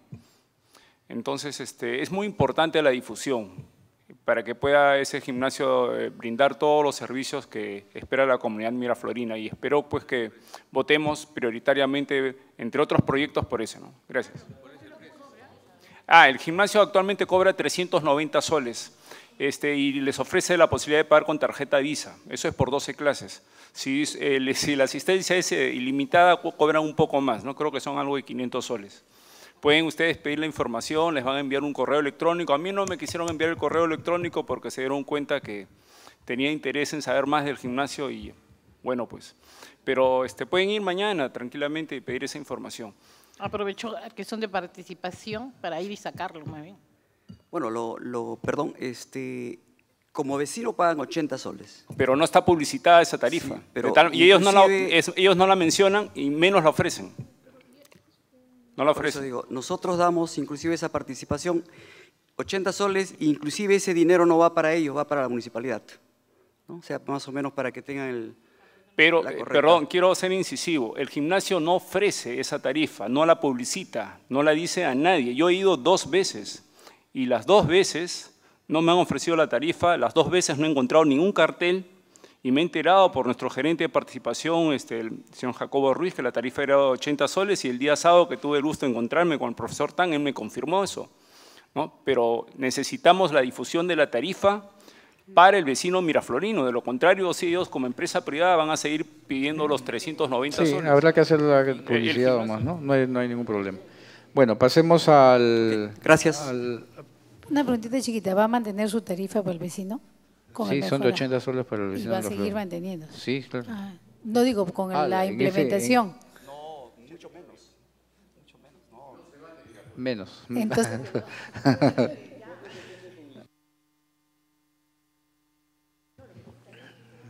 Nos presentamos al doctor Carlos, Carlos Yelena para que haga la presentación del proyecto de defensa civil.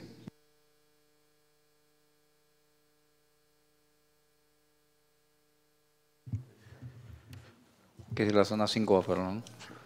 Perdón, ese proyecto no es de defensa civil, por sí, Sí, no, no, está bien, de acuerdo. Eh, señores, señoras, vecinos todos, tengan ustedes muy buenas noches. En primer lugar, quería saludar eh, con beneplácito la propuesta del señor Marlon Angues, porque él es obviamente quien propuso esta, esta, propuesta de la implementación de almacenes de avanzada. Y en mi calidad de sugerente de defensa civil, lo que hemos hecho es coordinarlo y eh, elaborar esta presentación para la determinación de ustedes, los vecinos. Básicamente, quería empezar esta disertación indicando que tenemos una ley marco en lo que significa gestión de riesgo. ¿Qué estamos haciendo en una gestión de riesgo? Que es el SINAGER. Tenemos prerrogativas en donde ya esta ley faculta a los gobiernos locales a realizar acciones. Y qué mejor que el presupuesto participativo para poder invertir dentro de lo que significa el Sistema Nacional de Gestión de Riesgo. Es decir, confluye en esta situación la Ley de Presupuesto Participativo 28056 y la Ley del Sistema Nacional de Riesgo contra Desastres 29664. Si bien es cierto, nosotros eh, hemos desarrollado un, o venimos desarrollando un proyecto del año pasado que tiene estas características, que son 14 almacenes soterrados, en los 14 puntos ya establecidos en el distrito. Esta es la configuración eh, y distribución en el distrito de Miraflores, son 14 puntos. Tenemos, vamos a presentar 14 almacenes soterrados, pero también vamos a implementar tres almacenes de, de avanzada. Esta es la presentación preliminar que tenemos en un 3D. Va a tener eh, estos almacenes soterrados un montacarga cuya eh, facilidad de poder elevar los, los elementos o artículos que contengan va a ser de 350 kilogramos. Vamos a poner una pequeña animación para ver cómo en todo caso funcionaría este eh,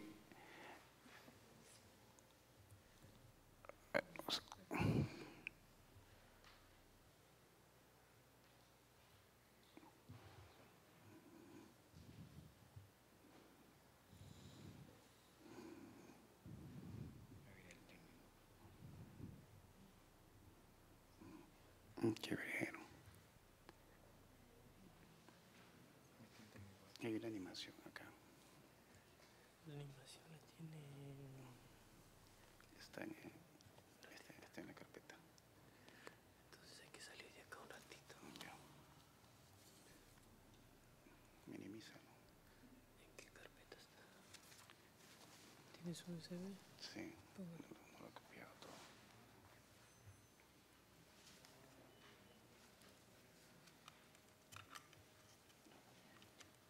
Aquí lo...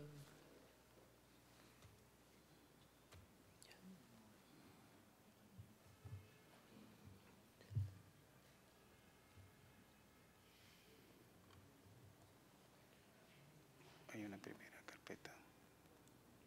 ¿De?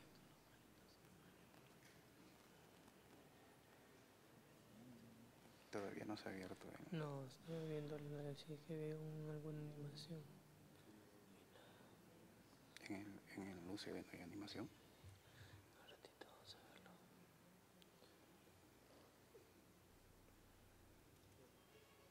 Al primero, al primero.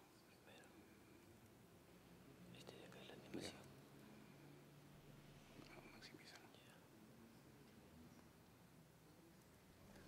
Quédate para que lo veas. El trabajo que hemos desarrollado en campo es obviamente la determinación de las áreas y la medición. Estos almacenes soterrados eh, van a tener una eh, dimensión de 6 metros por 3 metros y 2 metros 40 de altura. Eh, si bien es cierto, quiero hacer esta precisión porque quiero dejar claro cómo, es que se complementarían estos almacenes soterrados con los almacenes de avanzada propuestos por el señor Ánguez. La capacidad de estos almacenes eh, soterrados implica eh, tener productos no perecibles, tener agua, herramientas en toda la estructura.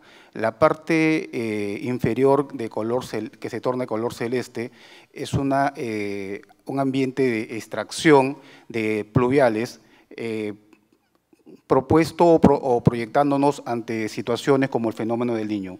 No queremos hacer sencillamente una perforación y que no nos sirva. La idea es que este proyecto tenga larga duración y estamos tratando de cubrir todas las expectativas necesarias. No estamos haciendo pistas ni veredas, estamos haciendo un ambiente necesario que la sociedad miraflorina va a necesitar ante un eventual desastre de 8 grados eh, aproximadamente. Obviamente en, esta, eh, en estos almacenes soterrados no vamos a tener capacidad para poder incorporar que, por ejemplo, grupos electrógenos, no vamos a tener espacio para poder almacenar eh, bombas extractoras de aguas residuales o, desagüe, no vamos a tener espacio para poner eh, carpas tipo las que tienen el ejército, eh, eh, tipo esta, eh, pon la, la presentación PPT, La- por- por- por- por- el azul. Acá.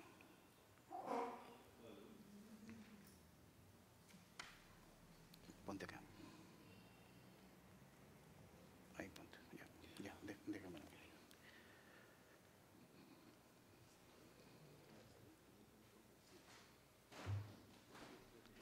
En ese sentido es que eh, técnicamente hemos establecido y también ah, coordinado y sugerido por el señor Ánguez que vamos a tener tres almacenes de avanzada, uno en el Estadio Manuel Bonilla, uno en el futuro local de seguridad ciudadana que va a ser implementado, porque va a tener más niveles y por lo tanto más espacio, y además donde va a funcionar el COE, un lugar donde ante un eventual desastre todas las personas inmersas ante esta situación vamos a reunirnos para tomar las decisiones correspondientes. Y el tercer lugar es obviamente en el otro eh, local de seguridad ciudadana en la avenida Benavides, de tal manera que podamos cubrir las tres áreas que configuran las áreas que tiene seguridad ciudadana.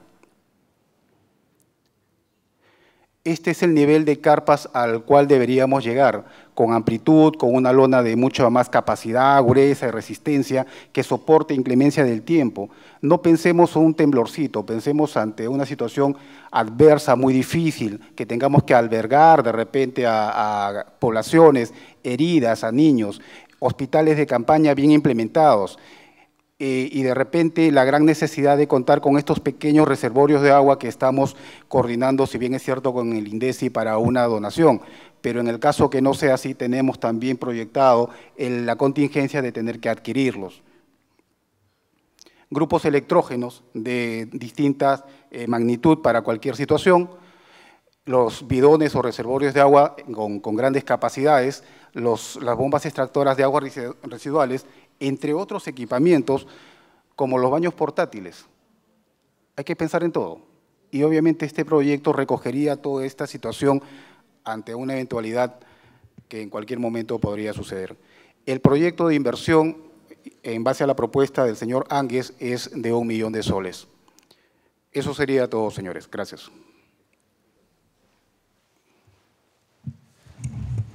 Una consulta. Disculpen esta propuesta. Eh, los que trabajamos y vivimos, los primeros, los que vivimos el, sismo de Nica en Pisco y los que socorrimos que fuimos, yo fui uno de los primeros, yo veo esto que tú lo vas a poner subterráneamente. ¿Sí? Ok. ¿Qué pasa si la Tierra, y voy a hablar en simple, se abre y se parte y se hunde todo? Se perdió todo. ¿Mm? No, hay que ser, sí, pragmático. Yo lo viví y fue horrible. Entonces, para ser afuera, ¿no sería mejor la implementación y todo tener puntos visuales? En una época, cuando yo era pequeño, bueno, no tan pequeño, el señor Andrade, eh, Alberto, puso en algunos lugares unos recipientes de agua, no sé si se acuerdan que parecían unos colchones gigantes. Eso ya ha mejorado con el venir del tiempo, lo estoy hablando hace 20 años, una cosa así o 30, puede ser. Entonces, ¿qué sucede? Que mejor es algo más tangible, más visible y que se pueda tener en un caso de emergencia. Si no, acá está el de la compañía de bomberos que me podría corregir, porque si todo, va subterráneo, el día de la desgracia, la mitad de Miraflores puede quedar sin ese abastecimiento en otro. La idea es buena, prever es excelente, pero de repente sería en algún otro punto. Eh, señor Fernando Carrera, sí, buenas noches. Eh, este proyecto de los almacenes soterrados ya fue aprobado el año 2012 eh, para el año, este año 2013. Lo que estoy presentando yo es un complemento de ambas situaciones. Si bien es cierto, el perfil y el expediente están terminando, casualmente para poder corroborar lo que usted dice, estamos en el perfil pidiendo un estudio de suelos. Estamos consultando incluso con la Universidad Nacional de Ingeniería este, este proyecto, que es único en Sudamérica y por eso es que tenemos que darle eh, mucha importancia en la eficacia y efectividad de lo que queremos hacer. Pero insisto, el, proyecto ya fue aprobado el 2012 para este año 2013 y lo que yo busco es hacer los almacenes avanzados sobre el nivel cero hacia arriba. Claro, los tres, los tres almacenes de avanzada van a ser sobre el nivel cero hacia arriba. Además, eh, por un tema de contaminación visual, tenemos el distrito del INSE, por ejemplo, ha puesto container en, en su plaza principal. Es una incomodidad y es nada eh, práctico para poder desarrollar este tema en casos de emergencia. Bueno, ¿alguna última pregunta? Nada. Bueno, invito al señor Eduardo Tagle para que haga la Muchas gracias, Carlos. La presentación de, del proyecto de la sugerencia de desarrollo ambiental.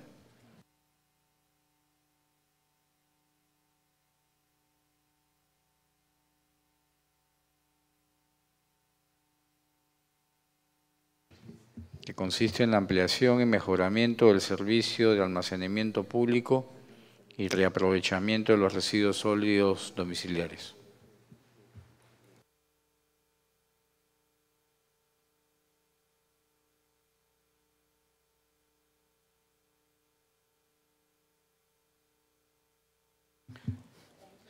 Buenas noches, eh, buenas noches con todos, regidores, vecinos, todos.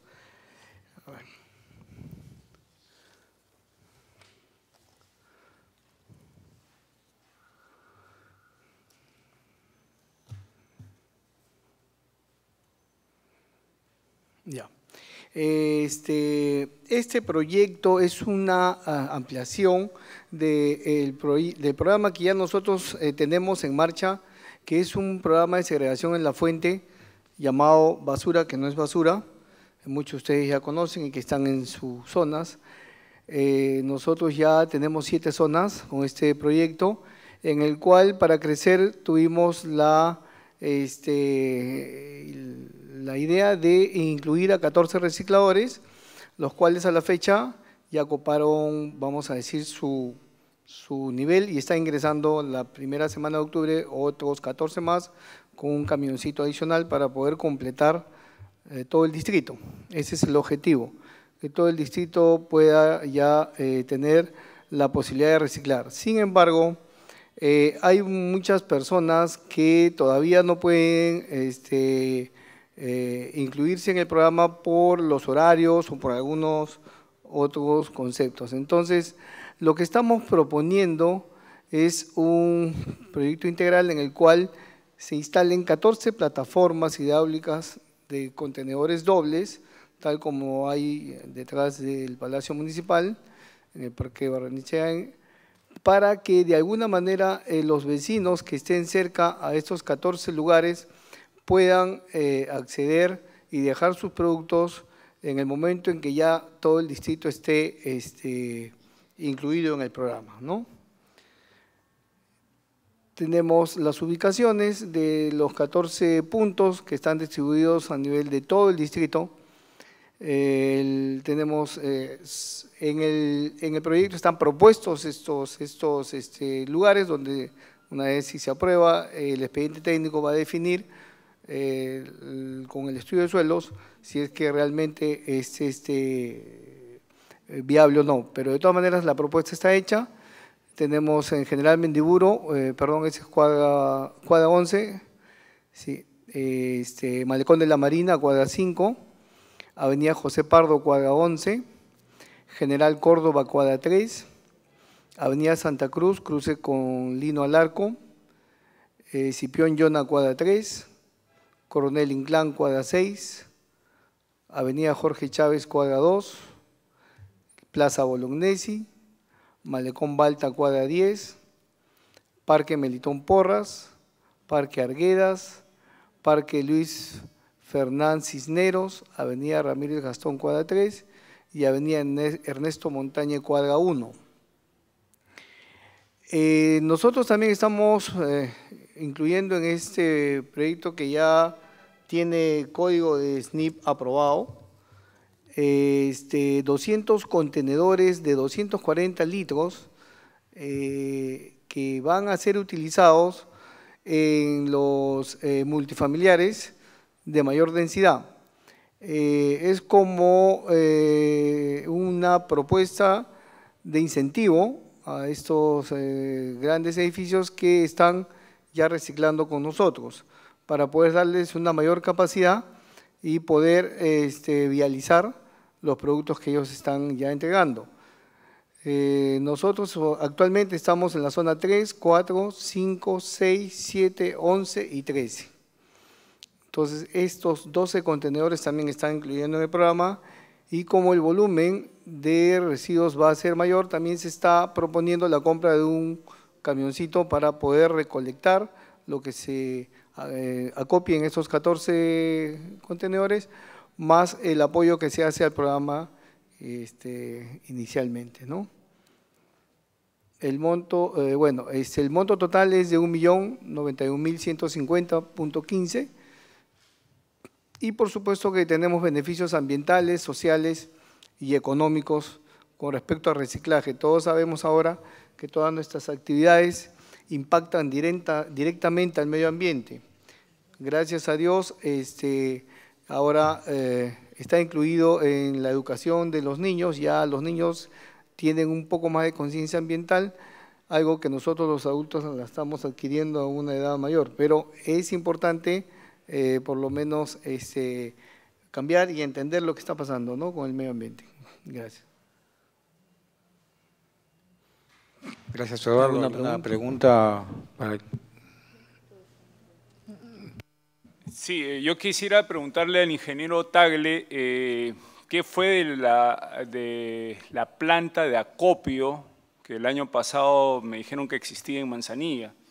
Eh, una reunión este, con personal de la gerencia de medio ambiente. No, con Surco no. no. Era una planta que tengo entendido que era un local alquilado al cual todo, todo el segregado que se recogía de, las distintas zonas en, el inicio piloto, sí. este, se reunía ahí. Este, incluso en una oportunidad eh, yo tomé la iniciativa de querer acercarme, pero el ingeniero Tagle tuvo la amabilidad de llamarme para decirme que no vaya y que él me iba a llamar para enseñarme el centro de acopio. Hasta ahora estoy esperando su llamada. Sí, este, sí, lo que pasa es que recién en la sesión de consejo última se ha aprobado recién, este, lamentablemente ha tomado su tiempo, los regidores son conscientes de que ha tomado su tiempo. Sí, nosotros este, damos fe de lo expresado por el arquitecto Tagle, pero sí eh, considero que es importante resaltar el programa porque ha tenido muy buena acogida. Eh, yo hablo por la zona 13 donde estoy y todos los vecinos colaboran y participan. Y se hace esto en una forma muy disciplinada y limpia, ¿no? Entonces, eh, pienso que es mejora la imagen de Miraflores más aún. Gracias. Muchas gracias, Eduardo. Y ahora le ruego ya la última, el, último como broche de oro, la gotita de paciencia, que es mi exposición. Prometo que va a ser cortísimo.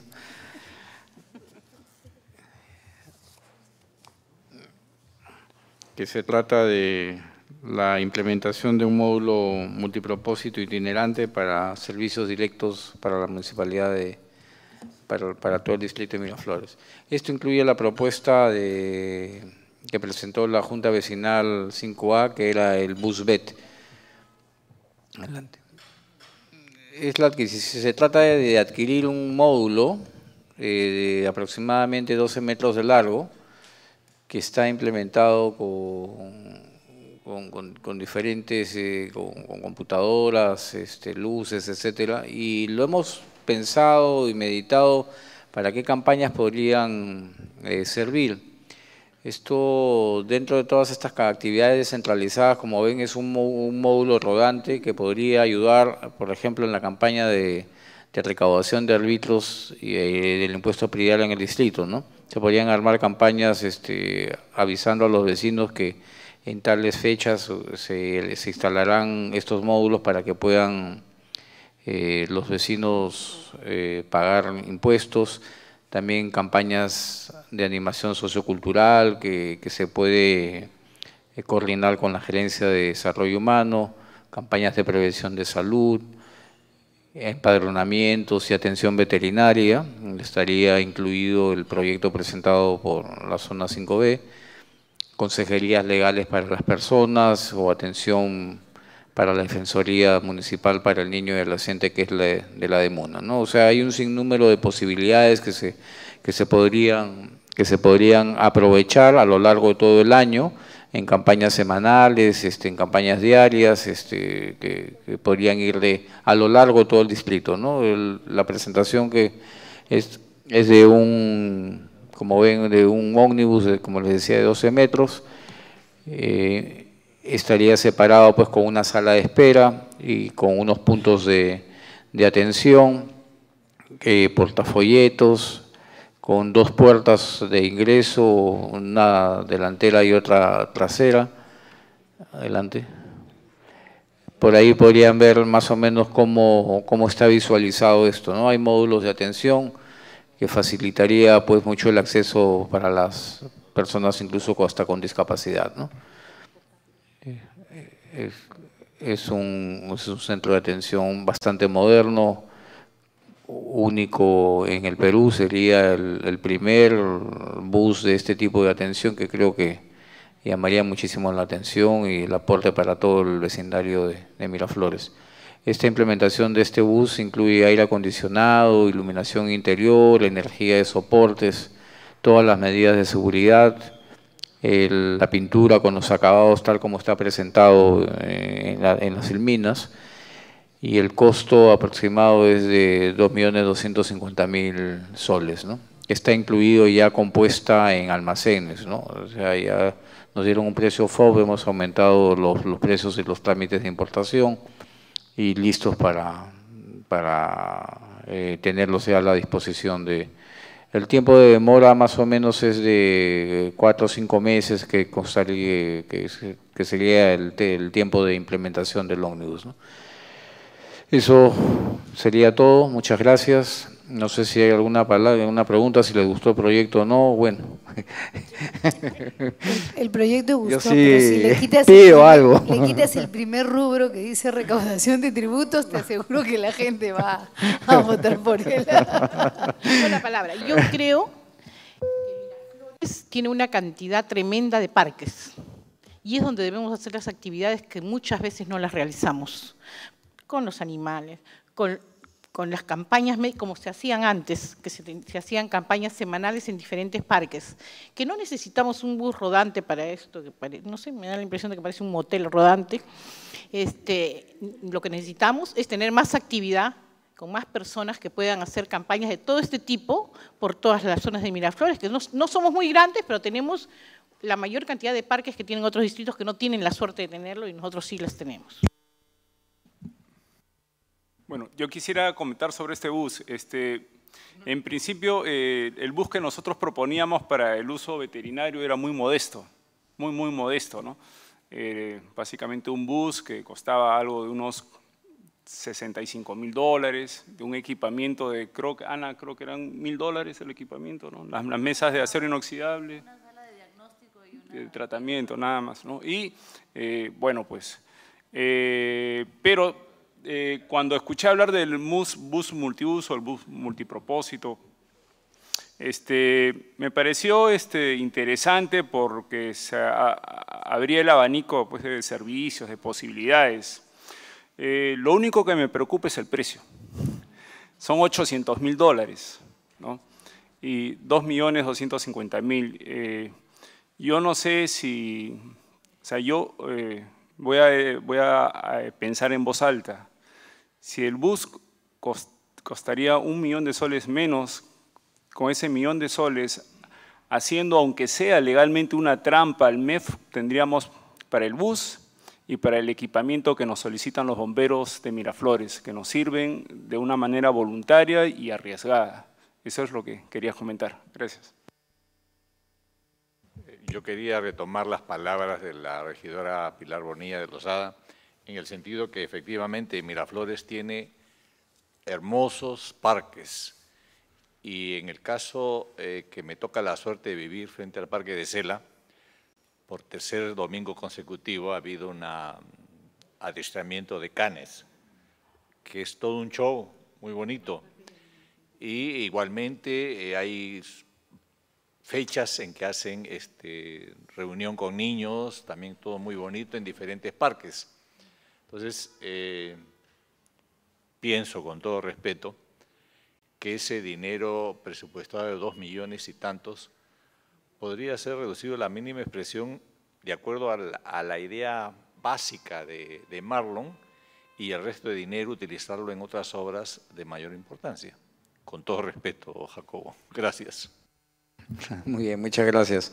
Bueno, el día de mañana le rogaría sí empezar a las 6 de la tarde porque hay una actividad, me han solicitado el salón de actos un cuarto para las 7 para que avanzar rápido con el tema de, la, las votaciones eh, correspondientes a los proyectos.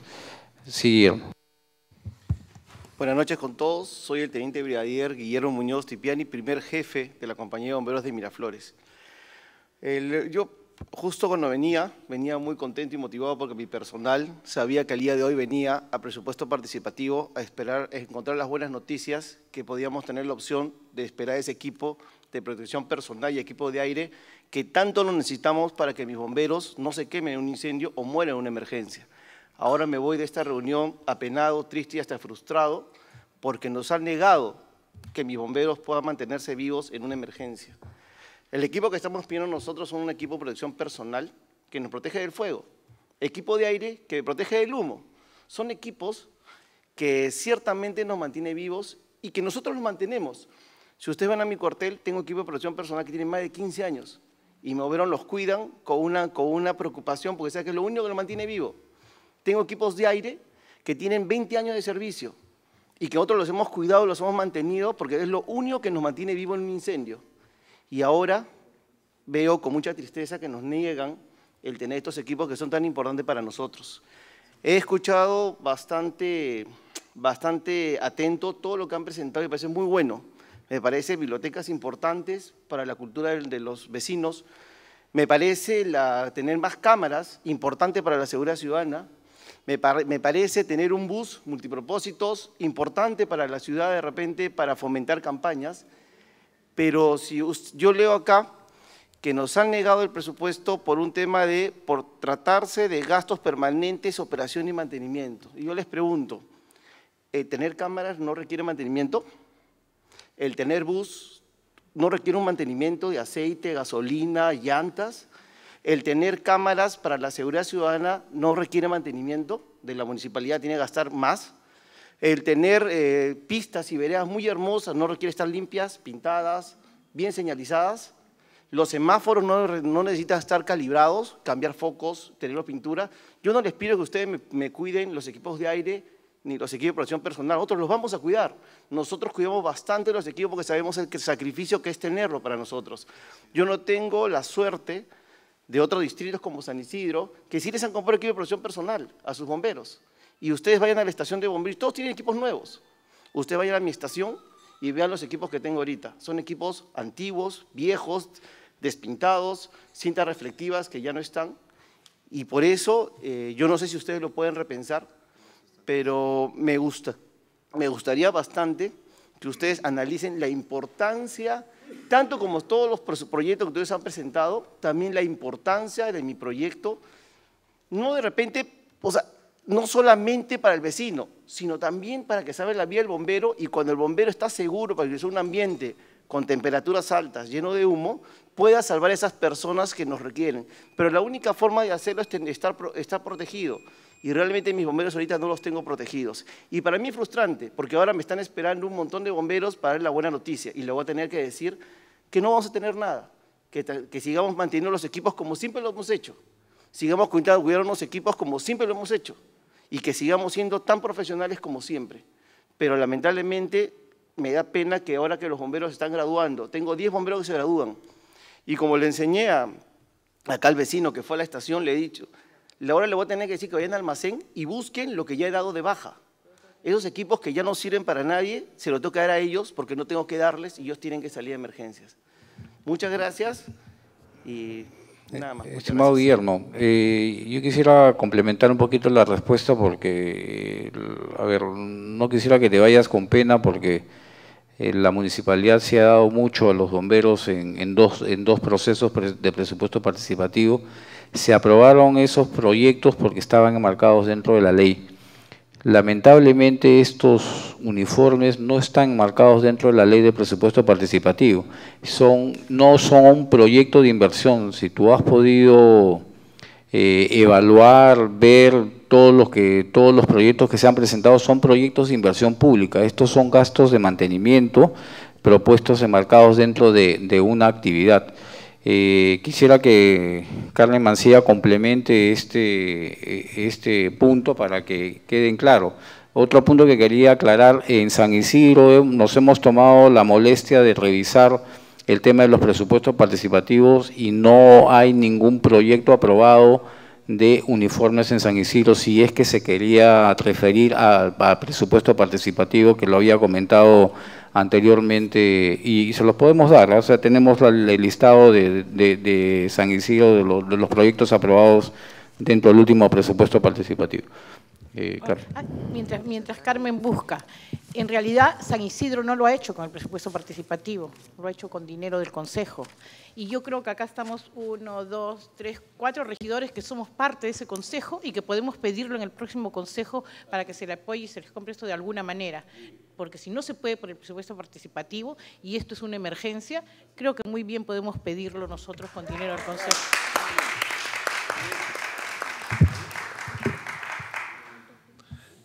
Agradezco en nombre de la Junta Vecinal, que era nuestro propósito, apoyar a los vecinos, a ustedes cuatro regidores, dos del PPC, dos de Somos Perú. Quiero además eh, que lleven esta propuesta al Consejo con una fundamentación que nosotros, los delegados vecinales y los bomberos le llevamos a la señora Carmen Mancilla, porque es todo un estudio del Ministerio de Economía y Finanzas. Hemos tocado puertas, hemos hablado y nos dieron la resolución, por eso se lo trajimos, para ver, y había que tener capacidad técnica. Y siempre dije, este presupuesto participativo, para el próximo, hay que tener, hay que tener personas que sepan, que estén involucradas, internas, para que sepan manejar los perfiles. No de un momento a otro venir y decir esto, esto, el otro. No, que vengan personas y digan, ok, vamos a hacer un taller, perfecto. A ver, ¿cuáles son las propuestas? ¿Cuáles son las ideas? ¿Cuáles son? Perfecto. Vamos a unirlas. He visto con atención y para el cierre las propuestas, muy buenas las propuestas. Pero también, por ejemplo, en algunas hemos podido hacer agruparlas. Nosotros los delegados vecinales solamente tenemos tres votos y venimos acá, solamente podemos votar por tres. Pero hay una diversidad de cantidad de cosas tan buenas para el distrito, porque todos somos miraflorinos y todos queremos lo mejor, sean de una idea política o de otra. Y esta idea nace acá. Por eso siempre propuse, la unión hace la fuerza y agradezco a los señores regidores por esta moción que llevarán. Patti, nos conocemos tiempo. Te pido por favor que refuerces ahí con el señor alcalde. Gracias.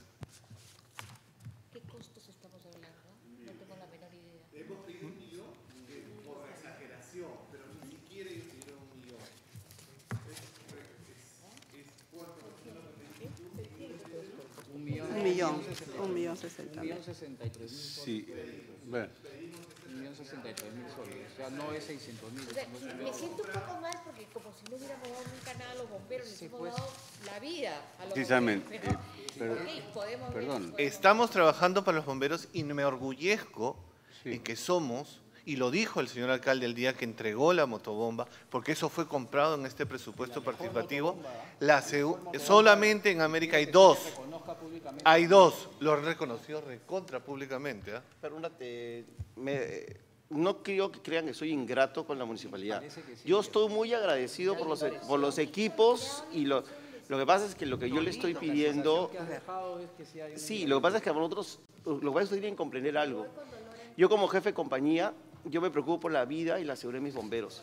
Y, lamenta, y de repente mi frustración que le estoy dando a ustedes, que ustedes la pueden malinterpretar, porque yo no soy, no soy, o sea, yo reconozco todo el apoyo que nos dan, pero lo que estamos pidiendo era equipo de protección personal, que es lo único que mantiene. Yo tengo ahora el mejor parque automotor del Perú, y yo lo reconozco, y yo soy muy agradecido, se lo digo cada rato, el- inclusive el día sábado, el día de ayer estuve reunido con el alcalde Surquillo en, un- en el izamiento de bandera, y dije, yo tengo la suerte de tener unos vecinos comprometidos, un alcalde que quiera su estación de bomberos.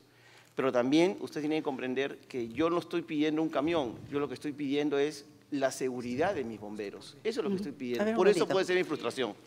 Señora Meses, directiva, no nos resintamos, no nos resintamos de nada. ¿Sabes qué es lo más bonito y lo más hermoso? Si nosotros podemos colaborar, como dijo la, la señora Bonilla, en pistas y veredas, que solo da Lima, tengo la compañía de bomberos a mi derecha, Miraflorina, que tiene el segundo camión mejor de América Latina, pues el otro lo tiene de Casa Blanca, lo dijo el alcalde en Tarata. ¿Y por qué me voy a yo a resentir, y quiero en eso que Pati te sientas bien y que todos nos sintamos bien, de cada día mejor entregar algo?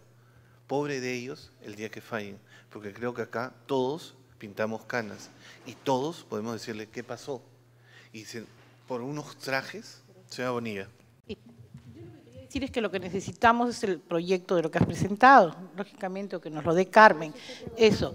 Indudablemente que la bomba de Miraflores siempre ha estado bien, porque Miraflores siempre la ha protegido. Y desde los vecinos de Miraflores, porque justo en el presupuesto partici- participativo anterior son los que han comprado. No lo hemos comprado nosotros como posición nuestra, sino como posición de todos los vecinos, ¿no? de que eso es lo que tenemos que alabar que ellos han hecho. Y otra cosa, el otro día yo llamé por una señora, y es solo para ver qué cosas hacen los bomberos acá, llamé a Serenazgo, llamé como regidora a Serenazgo y llamé a, a los bomberos también, porque una señora, una vecina que se había quedado con su enfermera, una persona muy mayor, se puso mal. En dos o tres minutos estuvieron los bomberos, un poquito más demoraron los serenos, pero los bomberos estaban ahí. Por eso creo que debemos de darle todo el mayor apoyo, todo lo que esté a nuestro alcance, todo lo que es la plata de los vecinos de Miraflores. No lo obsequiamos las autoridades, nada, sino los vecinos de Miraflores.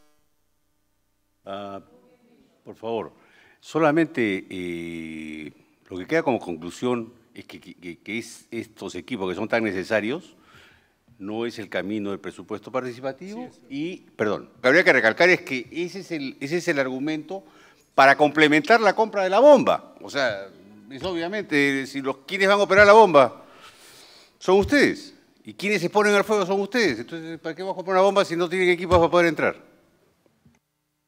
Yo, quiero hacer un comentario muy específico. Miren, yo, tengo, yo he participado en el comité técnico y sé este caso y me he interesado en el caso y he estado en la estación de bomberos y creo que tengo derecho de participar y hablar algo adicional.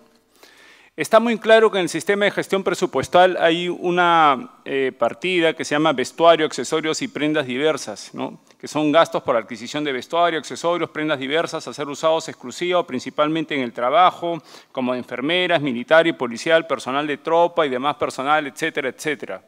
Claro, eso está muy bien, ¿no? pero lo que requieren nuestros bomberos no es vestuario, no son accesorios y prendas diversas, es un equipamiento de protección personal. es un vestuario. Es un no es un vestuario, es, un equipo muy sofisticado, especial, eh, fabricado ex profeso, que tiene normas técnicas muy precisas, que es muy costoso, por supuesto, estamos hablando de entre unos 10 y 15 mil dólares, y que es vital para salvar la vida, que, que es una vida de un voluntario que va a salvar otras vidas. Eso es muy importante. ¿De qué sirve que nosotros eh, donemos un hospital fabuloso, modernísimo, de, de primer nivel mundial y si el hospital no tiene equipamiento? En este caso el equipamiento para los bomberos son sus equipos personales de protección, así se llaman, no son uniformes personales de protección, no son mamelucos de protección, es un equipamiento muy especial y si hablamos del equipo para la oxigenación, para la respiración, es mucho más específico, más técnico, más necesario, si no se asfixian, se mueren. Si alguno de ustedes tiene un hijo, un sobrino que se de bombero y se muere porque ha ido con un uniforme, con un mameluco o con uno adecuado pero gastado, viejo, que lo dan de baja en otras partes, de repente iban a pensar, caramba, sí necesitaban estos equipos de protección personal. Entonces, es por eso que yo dije en mi intervención anterior, a manera de broma, cuando hay voluntad, cuando hay decisión, en este caso política, al más alto nivel, dicen, veamos, utilicemos el término que se requiera. Por último, hagámosle la trampa al MEF, como quien dice, no es, no, por favor, no hablemos, no, no hablemos. Un ratito, a ver, no, perdón, no, no estamos, nadie, nadie eh, está hablando en malos términos. El camino lo ha, lo ha, dado el señor Percibáez, o sea, esto va por el Consejo y no es el camino, el presupuesto participativo. Pero, a ver. bueno, lo dio la regidora Pilar Bonet. Cuando yo digo, voy, voy a terminar con esta frase solamente, cuando yo digo que, hay, que hacerle la trampa al MEF, no es robarle al MEF, no es robarle al vecino, no es engañar a nadie, sino es ver simplemente el término específico, como en el caso de los gimnasios, que no cabía y fue rechazada la propuesta porque se presentó como creación de gimnasio, posteriormente como reforzamiento del gimnasio, no cabía, ahora va a ser aprobada como ampliación. Eh, y cuando yo digo de incluir, es como, por ejemplo, que hoy día se ha incluido la propuesta para la mejora de la iluminación de Santa Cruz cuando no pasó en el comité técnico. Me consta porque estuve presente. Hablé con el ingeniero este, subgerente de Obras Públicas, el ingeniero Dante Abril, y él me dio la razón, necesitamos un informe técnico. No asistió el eh, ingeniero este, Alejandro Moreno a la siguiente reunión del comité técnico y quedó eso fuera del presupuesto participativo y el día de hoy ha sido incluido, como le consta a Jacobo, ¿verdad? Ha sido incluido porque era un pedido de los, de los vecinos de la zona y se va a dejar a votación de los, de los vecinos. si, incluyéramos por decisión política igualmente al más alto nivel el pedido de todos los vecinos a favor de los bomberos, estoy seguro que votaríamos y aprobaríamos no eso. No se puede aprobar porque no está dentro del marco de la ley, Marlon. Porque lo, han, porque lo han calificado simplemente como vestuario, pero eso es un equipo. Va a leer la señora Carmen Mancía, por favor. Miren, eh, la, regidora eh, Bonilla acaba de decir algo, lo vamos a ver nosotros en el Consejo, pero esto entra por gasto corriente. Yo quiero aclararle al representante de los bomberos que no es una dejadez de nosotros, que nosotros no estamos haciendo aparte este tema. El tema, a mí me lo han explicado, yo pregunté para saber qué contestarles y me dicen, esto entra por gastos corrientes. Puede ser que sean gastos mínimos, ¿no? Son altos, pero puede ser que sean mínimos dentro de lo que es el gasto de la municipalidad. Como dice la regidora Bonilla, acá la regidora Olavide, nosotros vamos a llevar esto al Consejo y tendremos una respuesta. Gracias. Ya. dame la palabra, ¿no? Sí. La señora Carmen Mancilla les va a ampliar el tema, ya desde la parte legal, ¿no? Técnica, técnica y legal. Buenas noches con todos. Señor Muñoz, a ver.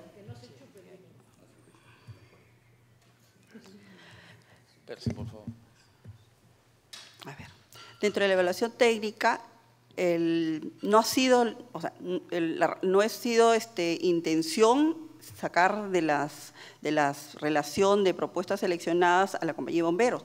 Lo que se ha tratado solamente es evaluar dentro de ciertos criterios técnicos y legales si van o no van las propuestas.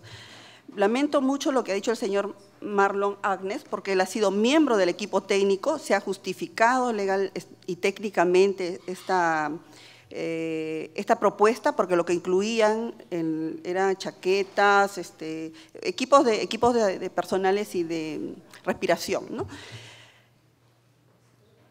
Usted habló de mantenimiento, todos los proyectos requieren mantenimiento, pero los proyectos de inversión pública son proyectos integrales. Se habló en la primera exposición la diferencia entre lo que hay una actividad y un proyecto. La actividad corresponde a gastos permanentes en el tiempo y el proyecto es una actividad ilimitada. ilimitada el proyecto de la escalera telescópica, ese proyecto es un proyecto integral y ese proyecto le vino ya con... ese, esa escalera telescópica ha traído equipamiento contra incendio y rescate de altura. Ha venido con seis unidades de equipo autocontenido con aprobación NPPA y ustedes están pidiendo 50. Pero la escalera ya ha traído, de los equipos que usted ha pedido, ha pedido seis unidades de equipo autocontenido con aprobación NFPA, seis unidades cilindro de aire, 4500 PSCI 30 minutos carbón, seis unidades de trajes para bombero de tres capas contra incendio, seis unidades casco bombero de fibra de vidrio térmica con protector de ojos, seis unidades capucha protector certificación NFPA, seis pares de guantes de fuego ignifugo resistente al calor con norma NFPA y seis pares de bota bunker negra impermeable. Estos este, equipamientos son componentes de un proyecto integral que es la escalera telescópica.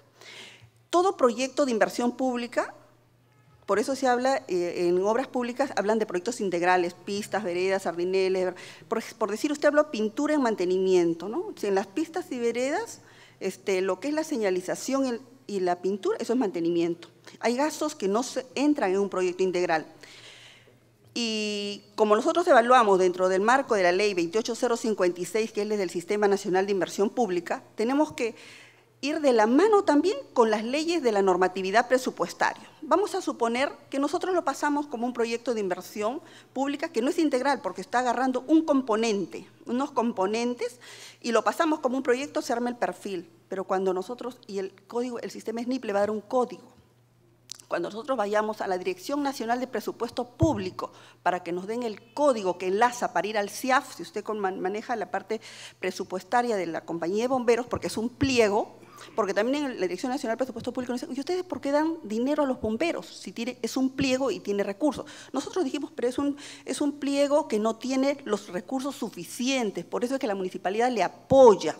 Entonces, eso corresponde a bienes y servicios como un componente individual de un proyecto integral. Entonces, para nosotros, si lo pasamos como un perfil de inversión, cuando llegue la Dirección Nacional de Presupuesto Público nos va a negar el código, no va a pasar como un proyecto de inversión pública. Entonces, nosotros no queremos que después que haya aprobado, hemos sometido al Consejo, ha pasado por todo ese tema, nos lo nieguen. El otro camino, entonces, cuando nosotros vimos con el señor Marlon Agnes, no sé si he dicho bien el apellido, discúlpeme, ya, entonces eh, hemos visto dentro del clasificador del gasto la, la categoría de gasto 2.3, que es bienes y servicios. Y ahí encaja como pedido, perdón, como pedido suelto, lo que usted ha pedido, como un proyecto integral del Sistema Nacional de Inversión Pública, va en la genérica de gasto 2.6, que es activos no financieros. Entonces, la otra, la, otra salida para el pedido de los bomberos es la que dijo la señora Pilar Bonilla, que va por un pedido de apoyo económico al Consejo y para nosotros va a significar una transferencia económica que va a ser en otra categoría de gasto que es la 2.5, otros gastos corrientes. Por eso es que se hablaba que dentro de la evaluación técnica del marco del presupuesto participativo, ley 28056 y modificatorias, no, no califica su propuesta como tal, porque es solamente componentes sueltos de un proyecto integral. Quizás podría haber calificado si este proyecto de la escalera, telescópica ya no hubiera sido cerrado, ¿no? Entonces hubiera, pero ya se le ha entregado, entonces es, no es integral pero la salida es la, que ha propuesto la regidora, que es una transferencia, tiene que ser un, pedido por ya este, con, otro expediente administrativo o, el mismo no lo sé, pero las razones que les pongo es por qué no ha calificado dentro del marco del Sistema Nacional de Inversión Pública. Nosotros conocemos, y se le manifesté al señor Marlon, que, es, este, que sentíamos mucho porque los bomberos siempre son los que más, los que más este, están prestos a una emergencia. Y lo digo yo porque en el año 2006 a mi mamá le dio un derrame cerebral y el único que llamamos fue los bomberos. Los bomberos la auxiliaron y ahorita mi mamá está viva, quedó hemipléjica, pero está caminando hoy en día. Entonces, pero tenemos que ser técnicos y también ver, este, pasa una instancia y la otra instancia nos la niegan, entonces teníamos que ver integralmente. Por eso es que no calificó como un proyecto de inversión pública lo que es el, el pedido de ustedes. Gracias, señora. Ya como última participación, Patricia Esteves, y cerramos y los esperamos el día de mañana. Solamente para hacer una, un comentario sencillo. Cuando iniciamos este presupuesto participativo, este, muchos de nosotros, y por iniciativa de Fernando, quisimos decir que este era un presupuesto participativo humano. ¿Por qué humano?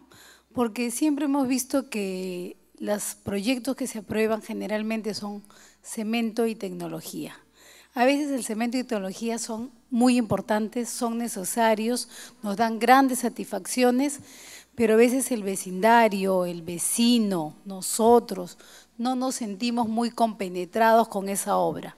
La consideramos una obra, y disculpen la expresión, como que es una lite este, política, un premio político porque se nota más visible.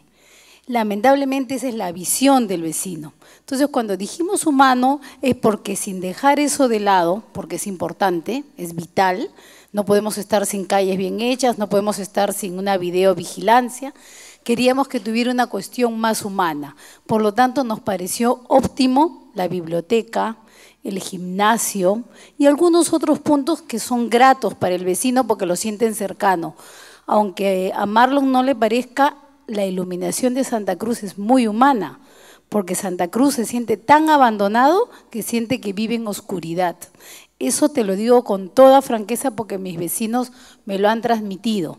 No sé si técnicamente es válido, si presupuestariamente es válido o no, pero sí es importante para que el vecino se sienta bien y por lo tanto ese presupuesto aplicado a algo de un buen sentimiento del vecino es un presupuesto participativo humano.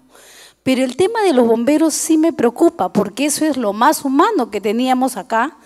Yo soy madre de un bombero y si escucho al comandante que me dice que ese equipo le dura 15 años uno y 20 años otro, ¿qué inversión permanente no puede ser sino esa? Porque si yo un equipo lo cambio cada año, sí es un gasto operativo de mantenimiento, pero si yo lo cambio cada 15 o 20 años, ya no es un gasto operativo ni de mantenimiento.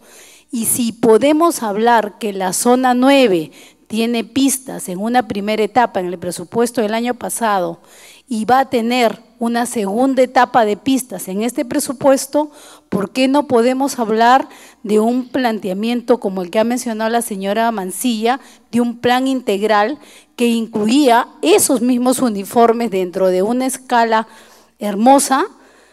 Y tener un equipo complementario en una segunda etapa.